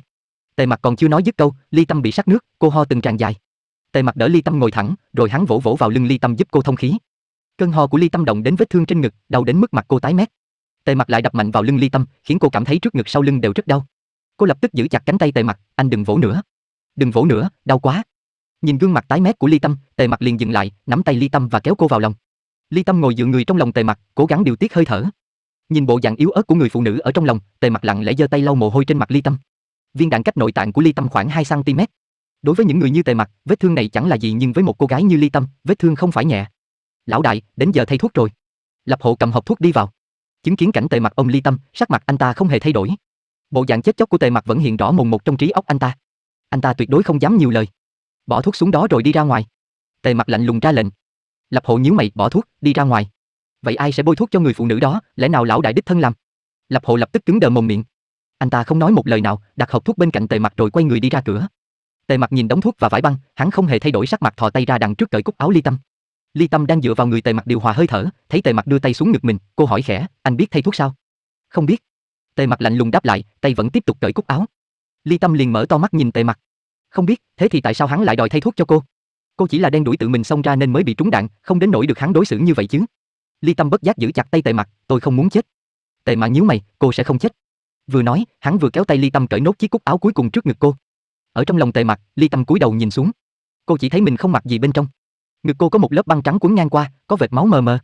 Ly Tâm bỗng chốc cảm thấy đầu cô nổ tung, lồng ngực như sắp sửa phun khói ra ngoài, mặt cô đỏ au ngượng ngùng. Ly Tâm không biết lấy từ đâu ra sức lực túng chặt hai vạt áo trước ngực, che đi nét xuân quanh đẹp đẽ. Tề Mặc trầm giọng, cô làm gì vậy, bỏ ra. Nói xong hắn dùng sức xé toạc áo Ly Tâm ra thành hai mảnh. Anh không phải là bác sĩ, tự nhiên đòi bôi thuốc gì chứ? Tôi cần bác sĩ. Áo bị xé rách làm đôi, không thể che bộ ngực trắng ngần. Ly Tâm đỏ bừng mặt thầm nghĩ, bác sĩ nhìn thì chẳng sao cả, nhưng bị người ngoài thấy thì. Tề Mặc tức giận nạt nộ, không có bác sĩ. Vừa nói hắn vừa dừng tay nhìn Ly Tâm bằng ánh mắt sắc lạnh. Nghe hắn nói vậy, mặt Ly Tâm trắng bệch. Thấy ánh mắt Tề Mặc thoáng qua tia sát khí, Ly Tâm không khỏi than thầm, con người này động một tí là muốn giết người. Bản thân cô đang bị thương, hắn cũng chẳng thèm nhẹ nhàng chút nào. Nghĩ đến đây, cô đành ấm ức bỏ tay. Phải chịu thôi, lúc khỏe cô còn chẳng chống nổi hắn, bây giờ cô càng không phải là đối thủ của hắn. Tề Mặc hài lòng khi thấy Ly Tâm buông tay. Thế mới đúng, hắn thích những người ngoan ngoãn nghe lời. Hắn bắt đầu bôi thuốc lên người Ly Tâm. Á, đau, đau quá. Anh nhẹ tay thôi. Tề mặt lúng cuốn vụng về ấn mạnh vào vết thương của Ly Tâm, khiến cô muốn giết hắn ngay lập tức. Rốt cuộc anh có biết bôi thuốc không hả? Đau quá. Hét gì chứ? Im miệng. Tề mặt cũng thấy lửa bốc lên đầu. Đây là lần đầu tiên hắn bôi thuốc cho người khác, vậy mà cô nàng lại la hét ầm ĩ, vết thương bé tí tẹo mà đau đến mức đó sao? Nghĩ thì nghĩ vậy nhưng Tề Mặc vẫn cố bôi thuốc thật nhẹ nhàng, mặc dù hắn không cho rằng hắn nặng chân nặng tay với cô. Tề Mặc, anh muốn giết tôi phải không? Tề Mặc bôi cả hộp thuốc lên vết thương của Ly Tâm. Để thuốc khỏi bị rơi xuống, hắn dùng bàn tay lớn giữ chặt. Ly Tâm đau đến mức mồ hôi chảy ròng ròng. Cô mặc kệ địa vị thân phận của người đối diện, mở miệng gọi thẳng tên hắn. Nghe Ly Tâm dám gọi tên mình, Tề mặt tối sầm mặt, lộ rõ vẻ chết chóc. Nhìn người phụ nữ ở trong lòng đau đến mức mặt mũi nhăn nhó, mồ hôi túa ra, hắn cất giọng trầm trầm, cô còn nói nữa, tôi sẽ giết cô. Ly Tâm bị ánh mắt sát khí Tề mặt dọa sợ chết khiếp. Cô chỉ thở hổn hển để mặt Tề mặt chà sát trên vết thương của cô. Tề mặt, tôi, chỗ đó không bị thương. Sau một hồi nghiến răng nghiến lợi chịu đựng quá trình bị hành hạ chứ không phải bôi thuốc, Ly Tâm tưởng cô có thể thoát nạn. Nhưng khi thấy Tề mặt bóp đi nắng lại chỗ không bị thương ở trên ngực, Ly Tâm tức giận lên tiếng. Tề mặt đảo mắt qua Ly Tâm, tôi biết. Vậy anh định làm gì? Thấy Tề mặt có vẻ mất hết kiên nhẫn, Ly Tâm cắn môi hỏi hắn. Cô còn mất kiên nhẫn hơn hắn ấy chứ? Vết thương vốn đau ba phần, bị hắn hành hạ thành ra đau 10 phần. Tề mặt liền bóp mạnh da thịt trắng muốt dưới tay. Ly Tâm đau đến mức nhảy dừng người. Tề mặt nạt nộ, tôi định làm gì à? Tôi định làm thế này đấy. Vừa nói, hắn vừa đẩy Ly Tâm ngã ra đằng sau, rồi hắn nhanh chóng phủ người ngậm nụ hoa trên ngực Ly Tâm. Ly Tâm vừa hoảng sợ vừa tức giận, muốn giơ tay đấm Tề Mặc, nhưng bị hắn đè chặt, không thể động đậy nổi. Cô chỉ còn cách hét lớn, "Tề Mặc, anh tá!" Ly Tâm còn chưa dứt lời, Tề Mặc đột nhiên mút mạnh, khiến Ly Tâm cảm thấy ngực vừa đau vừa ngứa, cả người mềm nhũn. Cô tiếp tục hét, "Tề Mặc, bỏ tôi ra! Anh bỏ tôi ra!" Tề Mặc hừ một tiếng trong mũi, nhã nụ hoa ngẩng đầu nhìn Ly Tâm, "Cô còn dám ồn nào nữa hay không?" Ly Tâm liền lắc đầu, "Tôi không dám." Cô hãy ghi nhớ, cô là người của tôi, tôi muốn làm gì thì làm. Cô không có tư cách phản đối. Tề Mặc nói lạnh lùng, bàn tay lại tiếp tục sờ soạn trên ngực Ly Tâm. Ly Tâm liền nhắm mắt nuốt hận vào lòng. Cô thầm chửi rủa cả tổ tiên 18 đời nhà Tề Mặc. Mối thù này sẽ có ngày cô bắt hắn phải trả gấp nhiều lần. Tề Mặc giơ tay nắng đi nắng lại ngực Ly Tâm. Làn da trắng ngọc ngà bị hắn sờ lên sờ xuống. Cả người Ly Tâm mềm nhũn nằm im trong lòng hắn. Khốn khiếp, thế này là thế nào? Một tiếng quát lớn khiến Ly Tâm giật nảy mình. Cô liền mở mắt thấy gương mặt Tề Mặc tối sầm, đôi mắt lại phóng ra tia giết người. Ly Tâm bất giác nhìn xuống ngực mình, cô không biết nên khóc hay nên cười. Tề Mặc dùng cuộn vải băng bó vết thương cho cô. Mặc dù hắn không ngừng điều chỉnh vị trí nhưng vẫn không thể băng nổi. Cứ mỗi khi hắn cuộn vải băng là miếng vải lại trượt ra khỏi vết thương. Hóa ra, Tề mặt bắp nắng ngực cô là để chỉnh góc độ, cố định miếng vải băng. Ly Tâm chửi thầm, con người này lẽ nào không biết nói một câu nhẹ nhàng hay sao? Tề mặt quả thật không phải sinh ra để hầu hạ người khác. Không biết hắn bị đứt sợi dây thần kinh nào, tự nhiên lại đòi băng bó cho cô, khiến cô bị tra tấn mãi. Ly Tâm nói khẽ, anh băng từ bên này qua là được rồi. Tề mặt nhíu mày, làm theo lời Ly Tâm. Miếng vải băng quả nhiên cố định đúng vết thương. Tề mặt nhăn mặt, hắn không phải là loại đi hầu hạ người khác mà. Sau khi trận bôi thuốc còn quá hành xác kết thúc, Ly Tâm thở phào nhẹ nhõm. Cả người cô vừa đau đớn vừa mệt mỏi. Cô ngồi dựa vào Tề mặt lấy lại hơi sức. Sau khi băng bó xong, Tề mặt cúi đầu nhìn Ly Tâm không còn chút sức lực, mình đẫm mồ hôi, hắn bất giác xa sầm mặt. Tuy vậy, hắn vẫn quay người với lấy túi bông, lau mồ hôi cho Ly Tâm bằng động tác hết sức nhẹ nhàng. Khỏi nhanh lên, tôi không cần người vô dụng. Tề Mặc nhẹ nhàng đặt Ly Tâm nằm xuống giường. Cô lườm hắn, có phải cô muốn bị thương đâu, muốn khỏi là khỏi ngay chắc. Yêu cầu của hắn đúng là buồn cười. Đây là lần đầu tiên cô gặp người bá đạo như hắn. Ly Tâm không thèm tranh cãi với Tề Mặc. Toàn thân cô vẫn chưa hết đau, cô từ từ chìm vào giấc ngủ. Thấy Ly Tâm ngủ say, cặp chân mày của Tề mặt mới từ từ giãn ra. Hắn đi nhanh ra ngoài, nhẹ nhàng đóng cửa. Hắn còn rất nhiều việc phải làm. Lập Hộ dường như có nhiều kinh nghiệm chữa trị vết thương bị trúng đạn. Vài ngày sau, vết thương của Ly Tâm có chuyển biến tốt. Cô có thể xuống giường đi lại vận động. Ly Tâm chậm rãi đi ra vườn hoa hít thở không khí trong lành. Nhìn cây cối xanh mướt, tâm trạng Ly Tâm tốt hẳn lên. Bị trói ở trên giường bao ngày, hôm nay mới có thể ra ngoài hít thở không khí, đúng là một sự hưởng thụ tuyệt vời. Ly Tâm cũng không đến ý đến hiện trạng vườn hoa chỉ toàn cây lớn, không tồn tại một bông hoa nào. Có màu xanh dù sao cũng tốt hơn chẳng có gì.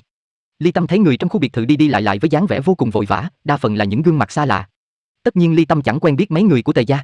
Cô nhíu mày nhìn họ rồi nhún vai quay đi. Dù sao người ở đây cũng chẳng liên quan gì đến cô, không can thiệp vào chuyện của người khác mới là thượng sách. Nghĩ đến đây, Ly Tâm đột nhiên thấy trong họa có phúc.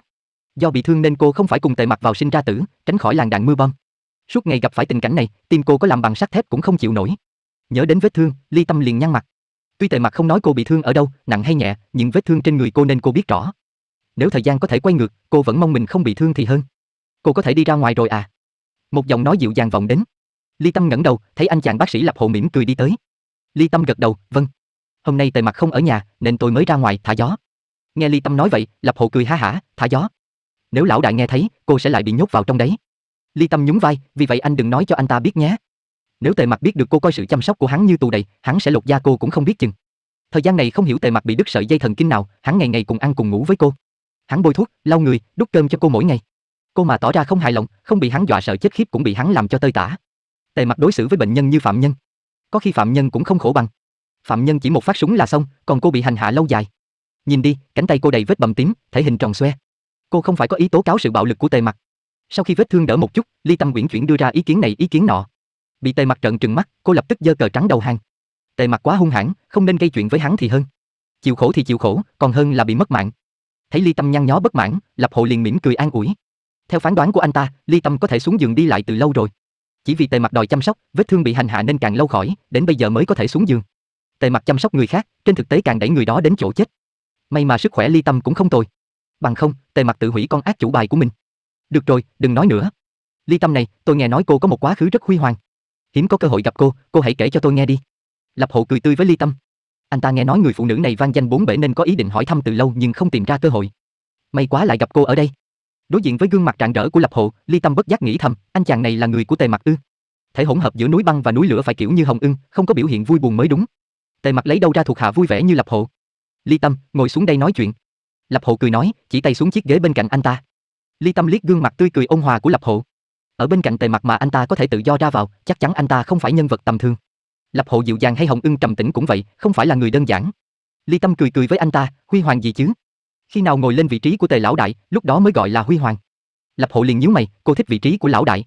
Ly Tâm hơi nhăn mặt. Người này không hiểu thế nào là nói đùa sao? Cô mở miệng, nếu tôi thích thì có thể ngồi lên không? Nghe Ly Tâm nói vậy, Lập hộ bất giác mỉm cười. Những lời đó mà cô nàng dám nói ra miệng. Anh ta còn chưa đáp lời, đằng sau vọng đến tiếng nói lạnh lùng, cô muốn ngồi vị trí của tôi. Ly Tâm liền quay đầu. Tề Mặc bước đến với vẻ mặt vô cảm, Hoàng Ưng đi sau nở nụ cười gian tà. Ly Tâm nhếch mép, vậy Tề lão đại có chịu để tôi ngồi hay không? Thấy bóng dáng Tề Mặc, Ly Tâm bắt đầu cảm thấy vết thương và toàn thân cô đau nhức, giọng nói cũng như hụt hơi. Cô không có khả năng đó.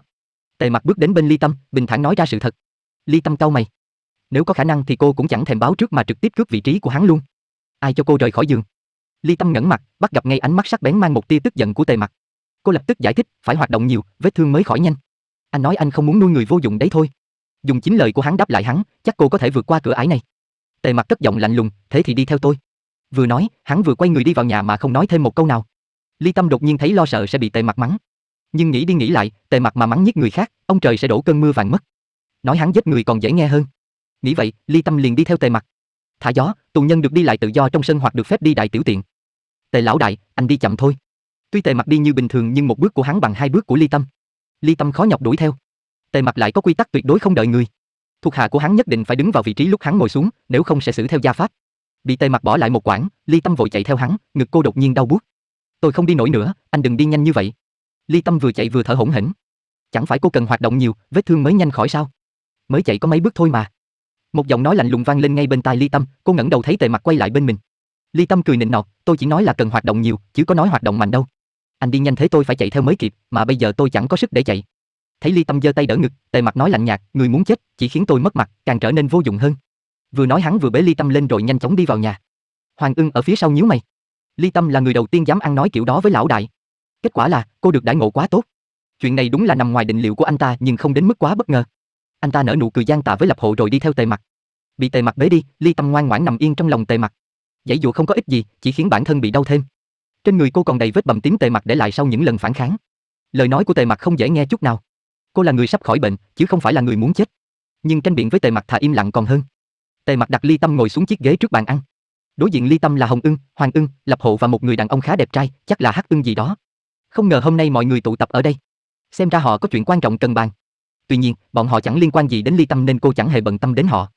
Đợi Tề Mặc ngồi xuống, đồ ăn nhanh chóng được dọn lên bàn. Từ đồ ăn Trung Quốc đến đồ Tây từ từ lấp đầy bàn ăn, trong đó có nhiều món là mỹ vị của Trung Hoa. Ly Tâm nhìn các đĩa tôm hùm, cua thiên hoàng, xương tỳ bà, cô bất giác nuốt nước bọt. Ly Tâm tạm gác sự đau đớn và vết thương trên ngực sang một bên. Hai tay cô rối cả lên, cầm đũa mà không biết gấp món nào trước món nào sau. Thời gian cô bị thương, ngày nào cũng chỉ có những món nhạt như canh hay cháo. Cuối cùng, hôm nay cô cũng được ăn thỏa thích rồi. Ly Tâm vừa định gấp một con tôm, đôi đũa của cô đột ngột bị chặn lại. Ly Tâm quay sang trừng mắt với Tề Mặc, làm gì vậy? Anh không phải đưa tôi đến đây để ăn cơm sao? Tề Mặc im lặng nhìn Ly Tâm bằng ánh mắt băng giá. Ly Tâm chột dạ. Sao vậy nhỉ? Lẽ nào hắn đưa cô đến đây ngồi nhìn hắn ăn cơm? Chưa kịp mở miệng thắc mắc, nhà bếp đưa khay thức ăn đến trước mặt Ly Tâm. Nào là tổ yến, cháo trắng, mấy món rau, toàn những thứ cô phải nuốt mấy ngày nay. Ly Tâm thấy liền xa sầm mặt.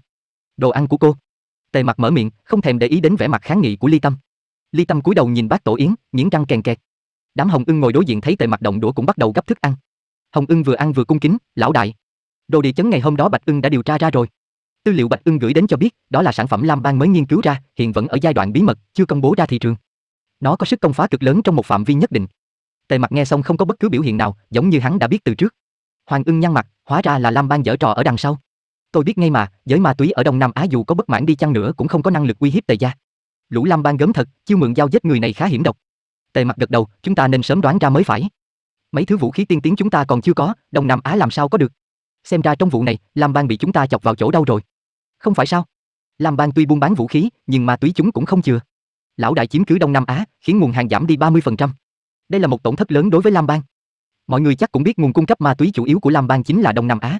Lập Hộ vừa uống một hớp rượu vừa từ tốn mở miệng, gương mặt anh ta vẫn tươi cười rạng rỡ. Ly Tâm thờ ơ nghe đám đàn ông nói chuyện, toàn đề tài vũ khí và ma túy, không phải hứng thú của cô. Liếc thấy Tề Mặc không chú ý đến mình, Ly Tâm liền giơ đôi đũa về đĩa thịt nướng gần chỗ cô nhất. Ăn đồ của cô đi. Một giọng nói đanh thép vang lên.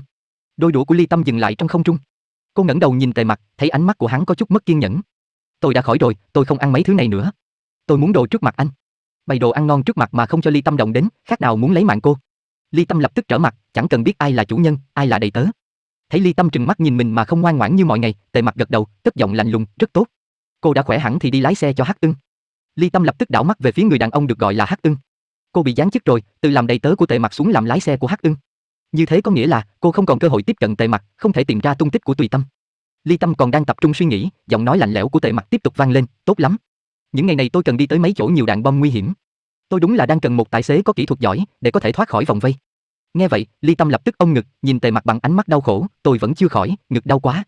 Lập Hộ và Hoàng Ưng ngồi đối diện bật cười thành tiếng, Hồng Ưng vốn trầm tĩnh cũng cười cười nhìn Ly Tâm. Tề Mặc đảo mắt qua người Ly Tâm rồi nhìn xuống khay thức ăn trước mặt cô. Ly Tâm tỏ ra ngoan ngoãn, tôi ăn đồ này thì hơn. Vừa nói, cô vừa miễn cưỡng đưa thức ăn bổ dưỡng vào miệng. Vì miếng ăn mà phải ra chiến trường, tất nhiên là cô sẽ chọn cách nhẫn nhịn. Vì cái miệng mà bị thương thì có thể suy tính lại, chứ vì cái miệng mất mạng thì khỏi cần nghĩ. Thấy Ly Tâm ngoan ngoãn cúi xuống ăn đồ trước mặt, Tề Mặc hài lòng gật đầu. Hắn nói với Hồng Ưng, Lam Bang sản xuất bao nhiêu đồ công nghệ cao tương tự, có cách nào phá giải không? Đối đầu với Lam Bang hắn không sợ. Bao nhiêu năm nay hai bên luôn tìm cách dồn đối phương vào chỗ chết. Đây chẳng phải là chuyện bí mật gì. Nhưng việc Tề gia không có tin tức về những thứ công nghệ cao Lam Bang nghiên cứu là điều không thể tha thứ. Hồng Ưng lắc đầu, không ạ, do mấy đồ đó xuất hiện ở Đông Nam Á lần này, Bạch Ưng mới mò ra đầu mối từ Lam Bang. Hiện tại vẫn chưa có cách phá giải à? Nghe vậy, Tề Mặc Sa sầm mặt, ánh mắt lóe lên tia phẫn nộ. Hắn từ từ quay sang Ly Tâm đang cúi gầm mặt ăn cơm. Hôm đó Ly Tâm làm thế nào phát hiện ra? Nếu cô có thể phát hiện thì hắn cần gì đi tìm đâu xa mà có ngay cao thủ trước mặt. Ly Tâm, không đưa. Tề mặt còn chưa nói dứt câu, Ly Tâm lập tức từ chối. Tuy cô không chuyên tâm nghe bọn họ nói chuyện, nhưng nội dung cuộc trò chuyện cứ bay vào tai cô. Đây không phải là lỗi của cô. Đến giờ mới biết, hắn đưa cô đến đây không phải để ăn cơm mà là muốn cướp đồ của cô. Cho hắn cũng được, nhưng phải bàn điều kiện. Tề mặt nhìn Ly Tâm lạnh lùng, cô thử nói lại một lần. Ly Tâm ngẩng đầu nhìn Tề Mặc, cất giọng lạnh không kém, nói bao nhiêu lần cũng vậy. Không đưa là không đưa. Đến cơm cũng không cho tôi ăn còn muốn lấy đồ của tôi. Không có cửa. Hoàng ưng nghe xong thở hắt ra. Anh ta không biết sức mạnh to lớn nào khiến Ly Tâm hôm nay to gan như vậy, hóa ra chỉ vì một miếng ăn. Cô nàng Ly Tâm này đúng là hết nói nổi. Tề Mặc nhìn chồng chập Ly Tâm, ánh mắt đầy nộ khí. Thấy bộ dạng của Tề Mặc, Ly Tâm biết phong ba bảo táp sắp đến với mình. Nhưng cô vẫn quay đầu đi, không đưa là không đưa, nhìn kiểu gì cũng vô dụng thôi. Trước đó Ly Tâm thầm nhủ phải nhẫn nhịn, nhưng khi đối diện Tề Mặc, ý nghĩ đó bị cô ném ra tận Thái Bình Dương. Á! À, Ly Tâm vừa quay đầu đi, cánh tay cô bị một lực kéo rất mạnh. Ly Tâm chỉ cảm thấy toàn thân cô nhẹ bẩn, bị đẩy xuống dưới đất. Trong chốc lát, vết thương trên ngực cô đột nhiên đau nhói nhưng cũng chỉ trong một hai giây. Ly Tâm còn tưởng mình bị ném xuống đất, nào ngờ một sức mạnh kéo cô ngược trở lại. Khi hoàng hồn cô phát hiện mình đã ngồi trên đùi Tề Mặc, cánh tay bị giữ chặt đau đến mức mặt Ly Tâm tái mét. Tề Mặc cau mày nhìn người phụ nữ trong lòng. Hắn vốn định ném cô xuống đất nhưng chợt thấy gương mặt lộ vẻ đau đớn của cô, hắn bất giác kéo cô ngồi lên đùi. Chứng kiến cảnh Ly Tâm thở hổn hển, Tề Mặc đặt tay lên ngực Ly Tâm, cất giọng trầm trầm, "Đau hả?" Thật ra, ngực Ly Tâm không đau bằng cánh tay bị Tề Mặc giữ chặt. Thấy Tề Mặc vừa xoa ngực mình vừa hạ giọng hỏi bằng thái độ quan tâm, Ly Tâm đột nhiên hết tức giận. Cô cúi đầu đáp, "Đau." Nghe vậy Tề Mặc liền cau mày. Có lẽ vừa rồi do hắn dùng lực mạnh quá. Hắn kéo Ly Tâm dựa vào người mình rồi giơ hai tay cởi cúc áo trước ngực Ly Tâm để kiểm tra vết thương. Những ngày vừa qua, vết thương của Ly Tâm đều do Tề Mặc bôi thuốc và băng bó. Ban đầu, Ly Tâm còn thấy phẫn nộ và ngượng ngùng. Nhưng sau đó cô quen dần, không có cảm giác gì khác. Vì vậy, khi Tề Mặc cởi cúc áo Ly Tâm, cô hoàn toàn không có bất cứ phản ứng nào. Vết thương bắt đầu lên da non thành sẹo, chẳng có gì bất thường. Ly Tâm đưa mắt đi chỗ khác để Tề lão đại muốn làm gì thì làm. Bắt gặp ánh mắt kinh ngạc của Hồng Ưng, Hoàng Ưng, Hắc Ưng và Lập Hộ ở phía đối diện, Ly Tâm đột nhiên thấy đầu nổ tung, mặt cô đỏ bừng. Cô liền nắm chặt hai vạt áo sơ mi trước ngực, định nhõng dậy chạy ra khỏi lòng Tề Mặc. Xấu hổ chết đi được. Cô làm gì vậy? Ngồi yên. Động tác Tề Mặc còn nhanh hơn phản ứng của Ly Tâm. Vừa cảm thấy Ly Tâm định đứng dậy, bàn tay Tề Mặc lập tức giữ chặt người Ly Tâm. Lúc này, mặt Ly Tâm nóng đến mức có thể đem ra ráng trứng. Thấy không thể thoát khỏi Tề mặt cô liền quay người, dúi đầu vào ngực hắn hỏi khẽ, "Tôi mới muốn biết anh định làm gì?" Tề mặt cau mày, ngồi yên. Vừa nói hắn vừa xoay người Ly Tâm. Hắn chỉ muốn kiểm tra vết thương thôi mà, có cần phải phản ứng dữ thế không? Ly Tâm túng lấy ngực áo Tề mặt không chịu buông tay. Thấy Tề mặt muốn lật người mình, cô bất giác cắn cắn ngực Tề mặt thì thầm, có người ở đây. Nghe vậy, Tề mặt liền ngẩng đầu nhìn đám hồng ưng đang cúi gằm mặt. Hắn lại cúi xuống chăm chú nhìn Ly Tâm, chỉ thấy mặt cô đỏ ửng. Một lúc sau, Tề mặt vỗ nhẹ lên lưng Ly Tâm, nói đi, cô muốn gì? Ly Tâm còn đang xấu hổ nên vài chục giây sau mới hiểu ý Tề Mặc hỏi cô về vụ chiếc hoa tai. Ly Tâm liền mỉm cười ngồi thẳng dậy, tôi muốn biết tung tích của Tùy Tâm. Nhìn bộ dạng tươi tỉnh của Ly Tâm, Tề Mặc cất giọng lạnh lùng, tinh thần tốt nhỉ, không đau nữa à? Nghe câu hỏi không mấy hữu hảo của Tề Mặc, Ly Tâm lập tức giơ tay, chỉ vào vết bầm tím trên đó, đau chứ? Sao có thể không đau? Ánh mắt Tề Mặc lóe một tia khác lạ, Ly Tâm bất giác nhíu mày. Cô có nói là cô đau ngực đâu, tại hắn hiểu nhầm đấy chứ, không phải lỗi của cô. Tề Mặc tỏ ra quá quan tâm lo lắng đến vết thương của Ly Tâm, khiến cô cảm thấy nếu không lợi dụng điểm đó thì quá có lỗi với bản thân, mặc dù cô xui xẻo mới bị thương chứ không phải vì cứu hắn. Tề Mặc gằn giọng, rất tốt. Bàn tay Tề Mặc bóp chặt thắt lưng Ly Tâm. Cô chửi thầm trong lòng, nhìn hắn bằng một vẻ ấm ức, tôi không lừa anh. Thấy vẻ mặt quan ức của Ly Tâm, Tề Mặc dần thả lỏng tay, không có. Không có. Ý anh là gì vậy? Tề lão đại, nếu anh không cho tôi biết tung tích của Tùy Tâm, tôi sẽ không đưa anh chiếc hoa tai của tôi. Ly Tâm nổi cáu trừng mắt với Tề Mặc. Tề Mặc cúi đầu, cất giọng đanh thép, cô đừng quên, cô là người của tôi, tài sản của cô cũng thuộc về tôi. Vừa nói hắn vừa dùng sức giữ chặt người Ly Tâm, một tay đưa lên định tháo hoa tai của cô. Ly Tâm chửi thầm một câu, sao cô có thể quên tề mặt là người mềm cứng đều không ăn thua. Thứ hắn muốn, có bao giờ hắn đoạt bằng cách tử tế đâu. Cô hoàn toàn sai lầm khi nghĩ hắn là người tốt. Ly Tâm bất giác lúc lắc đầu không cho tề mặt lấy hoa tai của cô. Cô còn động đậy nữa, tôi sẽ cắt tay cô. Tề mặt cau mày nhìn Ly Tâm. Hắn không có lòng kiên nhẫn chơi trò này với cô. Nghe tề mặt cảnh cáo, Ly Tâm lập tức ngồm im thiên thích. Cô trừng mắt với tề mặt. Hắn muốn cắt tay cô thật sao? Hoa tai của Ly Tâm gồm mấy cái vòng dính vào nhau, tề mặt mất một lúc mới có thể tháo ra. Hắn ném cho Hồng Ưng, đưa Bạch Ưng nghiên cứu. Hồng Ưng lễ phép đáp lại, vâng ạ. Tề mặt cúi xuống nhìn người phụ nữ trong lòng. Ly Tâm vẫn trừng trừng ánh mắt bất mãn và phẫn nộ với hắn. Tề mặt lên tiếng, tôi sẽ bồi thường cho cô. Vừa nói hắn vừa vỗ lưng Ly Tâm như muốn an ủi cô. Mặc dù vẻ mặt Ly Tâm tỏ ra ấm ức nhưng trên thực tế cô không mấy tức giận. Ly Tâm biết Tề mặt là người bá đạo, lấy đồ của người khác có bao giờ hỏi ý kiến. Tức giận với loại người như hắn chỉ tốn công vô ích. Ly Tâm không phải chưa từng lĩnh giáo, chút chuyện cỏn con này ăn thua gì. Hơn nữa, chiếc hoa tai là do Ly Tâm tự sáng chế, không phải ai cũng có thể phá giải, Tề mặt cướp đoạt cũng vô dụng. Ngoài ra, Ly Tâm có hai chiếc hoa tai, Tề mặt không đến nổi đuổi cùng giết tận, lấy đi cả hai. Ly Tâm ngỡ ngàng trước hành động của Tề mặt, hắn đang an ủi cô sao? Chắc chỉ là ảo giác của cô mà thôi. Lão đại, ngoài cửa có người đưa thiệp mời. Ly Tâm vừa định mở miệng, bên ngoài có người đi vào. Lập Hộ ngồi gần đó giơ tay nhận tấm thiệp rồi kiểm tra kỹ lưỡng. Phát hiện không có gì bất thường, anh ta liền mở tấm thiệp ra xem. Lão đại, Phong gia tối nay mở tiệc, mời lão đại tham dự. Lập Hộ xem xong, nhếch mép nở nụ cười châm biếm. Nghe vậy, Tề Mặc hơi nhíu mày, khóe miệng hắn đột nhiên nhếch lên. Hoàng Ưng bỏ ly rượu trên tay xuống, Phong gia, chẳng phải là tay sai của Lam Bang sao? Lần này bọn chúng nuốt địa bàn của ai mà dám mở tiệc mừng? Hắc Ưng cười lạnh lùng, nuốt địa bàn của gia tộc Quay Si. Theo tôi thấy, Phong gia bày tiệc với mục đích công bố địa bàn của chúng. Đồng thời, chúng tỏ ý kêu gọi chúng ta nương tay, đừng động đến địa bàn của chúng. Những ngày vừa qua Tề gia tiến hành cuộc càn quét quy mô lớn, hoàn toàn củng cố địa vị lão đại ở Đông Nam Á, dù Lam Bang có chiếm lấy địa bàn của gia tộc Wei Si ở khu vực này, cũng không hề ảnh hưởng đến Tề Mặc. Vì vậy, chúng đành phải nhún nhường, mở tiệc đãi Tề Mặc. Hồng Ưng gằn giọng, Phong gia vẫn chưa có tư cách bày tiệc mời lão đại. Chúng tưởng có Lam Bang chống lưng, chúng ta sẽ nể mặt chúng, đúng là buồn cười thật. Nghe đám thuộc hạ nói xong, Tề Mặc cúi đầu nhìn Ly Tâm và cất giọng vô cảm, cô nghĩ thế nào? Ly Tâm bỗng cảm thấy hết sức khó hiểu. Người này có ý gì nhỉ? Cô chưa sống trong giới hắc đạo bao giờ, chẳng biết gì về chuyện đuổi giết tranh giành địa bàn. Tại sao hắn lại hỏi ý kiến cô? Hơn nữa, Ly Tâm chỉ nghe nói đến hai gia tộc lớn là Tề gia và Lam Bang, những người khác cô không hề có ấn tượng, bảo cô phải nói gì đây? Quay đầu bắt gặp gặp ánh mắt kỳ lạ và mặt nhận của Hồng Ưng, Ly Tâm mở miệng nói tôi chẳng nghĩ thế nào cả. Tề Mặc xa sầm mặt, tức giọng lạnh lùng, lần sau cô còn nói vậy, tôi sẽ đưa tôi đến Hắc Lao ở châu Phi. Nghe Tề Mặc nói câu đó, Ly Tâm nhìn hắn bằng ánh mắt nghi hoặc. Hắc Lao là trại tạm trung của mafia Ý. Thấy Ly Tâm có vẻ không hiểu, Hoàng Ưng lập tức lên tiếng giải thích. Ly Tâm liền nhăn mặt. Không đến mức đó chứ, cô chỉ nói mỗi câu không nghĩ gì cả đã bị đưa đi trại tập trung. Ly Tâm bất giác toát mồ hôi lạnh. Cô nở nụ cười nịnh nọt với Tề Mặc. Cô sẽ ghi nhớ vụ này, lần sau kiểu gì cô cũng phải cố nặng ra ý nghĩ gì đó. Đi, tại sao không đi, Phong gia là cái thái gì mà muốn chúng ta nể mặt. Tề Mặc nhếch mép, gương mặt hoàn thành lạnh lùng vô cảm.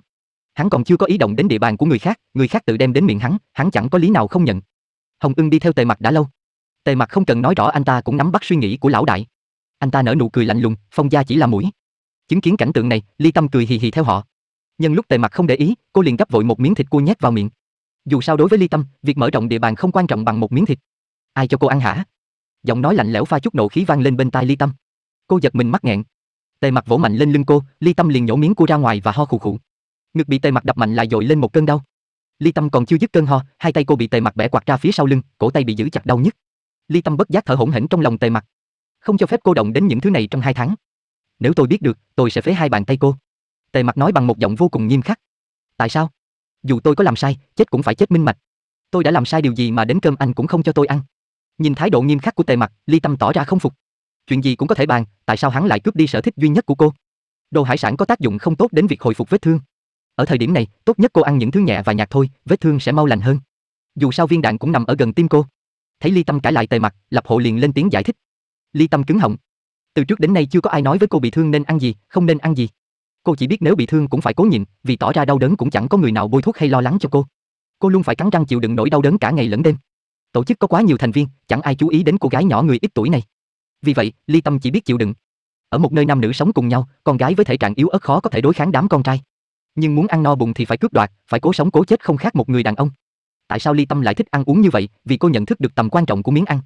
Vừa bị thương lại vừa bị đói, hậu quả chỉ có một, mà cô vẫn chưa muốn chết. Vì vậy, ngay từ nhỏ Ly Tâm đã thích các món ăn ngon, cô giữ thói quen này tới tận ngày hôm nay. ngẩng đầu đối diện với đôi mắt đầy nộ khí của Tề Mặc, Ly Tâm cất giọng dịu dàng hiếm thấy, "Tôi biết rồi, tôi sẽ nghe lời anh. Anh bỏ tay tôi ra đi, đau quá." Tề Mặc hừ một tiếng, giơ tay kéo bát cháo đến trước mặt Ly Tâm, "Ăn đi." Nói rồi, hắn thả hai tay Ly Tâm. Ly Tâm gật đầu, một tay cầm bát cháo, một tay từ từ xúc cháo đưa lên miệng. Đây là lần đầu tiên trong đời cô cảm thấy cháo trắng cũng rất ngon. Chứng kiến cảnh này, đám Hồng Ưng và Hoàng Ưng chỉ biết đưa mắt nhìn nhau, không nói bất cứ lời nào. Kể từ ngày đầu tiên Ly Tâm xuất hiện, bọn họ đã biết cô Hoàng không phải là người phụ nữ bình thường. Trong thế giới của họ không tồn tại hai chữ lương thiện. Gặp Ly Tâm, họ mới biết thế nào là lương thiện. Việc cô đỡ một viên đạn cho người cô ghét cay ghét đắng cũng nói lên nhiều vấn đề. Tuy bọn họ không thấy lương thiện có gì tốt đẹp nhưng cũng không bài trừ. Vì vậy, Tề Mặc thường vô ý thức nương tay với Ly Tâm, bọn họ có ý nhường nhìn cô. Ánh mặt trời xuống núi, ánh trăng dần tỏa sáng khắp không trung, một buổi tối lại bắt đầu. Ly Tâm ngồi trên chiếc xe Cadillac sang trọng, cau mày nhìn Tề Mặc đang gối đầu lên vai cô nghỉ ngơi. Tại sao hắn lại đưa cô đi dự tiệc, vết thương của cô vẫn chưa khỏi hẳn cơ mà. Lẽ nào Tề mặt thiếu người đến mức một thương binh như cô cũng bị lôi ra trận. Trong lòng cô vốn hơi cảm kích Tề mặt về vụ ăn uống, nhưng sự cảm kích hoàn toàn biến mất khi hắn bắt cô đi dự tiệc cùng hắn. Cô đi theo lão đại sẽ an toàn hơn. Nhìn vẻ mặt đầy bất mãn của Ly Tâm, Hồng Ưng mở miệng giải thích. Mặc dù ngôi biệt thự cũng rất an toàn nhưng Tề mặt đã có ý đó, anh ta không thể phản bác. Ly Tâm lập tức liếc xéo Hồng Ưng. Người này có bị sốt cao không đấy? Đi theo Tề mặt an toàn hơn. Cô mới đi cùng hắn ra ngoài hai lần, kết quả suýt nữa cô xuống gặp Diêm Vương. Tuy vụ ăn đạn là do sơ suất của cô nhưng chung quy đều bắt nguồn từ Tề Mặc. Đi theo hắn sẽ an toàn. An toàn kiểu gì không biết. Nói ở biệt thự an toàn hơn còn tin được, nơi đó có bao nhiêu người canh gác, ai dám đến làm càng. Cô không hài lòng. Nghe giọng nói lạnh lùng của Tề Mặc ở bên tai, Ly Tâm liền quay sang nhìn, hắn vẫn nhắm mắt tựa đầu vào vai cô. Ly Tâm cười trí trá, không có, đi theo Tề lão đại là nghĩa vụ của tôi mà. Tôi làm sao có thể quên mệnh lệnh không được biến mất khỏi tầm mắt của anh. Anh yên tâm đi, tôi nhớ như in trong lòng. Tề Mặc cất giọng vô cảm, thu lại nụ cười đáng ghét của cô. Ly Tâm lập tức trợn mắt. Tề Mặc không hề mở mắt mà vẫn biết cô cười hay không cười, hắn quả nhiên không phải là con người. Ly Tâm liền ngoan ngoãn ngồi im làm gối ông của Tề Mặc. Ba chiếc xe con sang trọng dừng lại trước cổng lưu khu của Phong gia. Cổng lớn lúc này canh gác nghiêm ngặt, một hàng bảo vệ đứng thẳng tắp ở hai bên.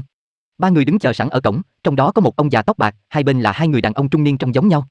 Ba người mặt mũi tươi cười đi về xe của Tề Mặc, không ít người ở đằng sau họ.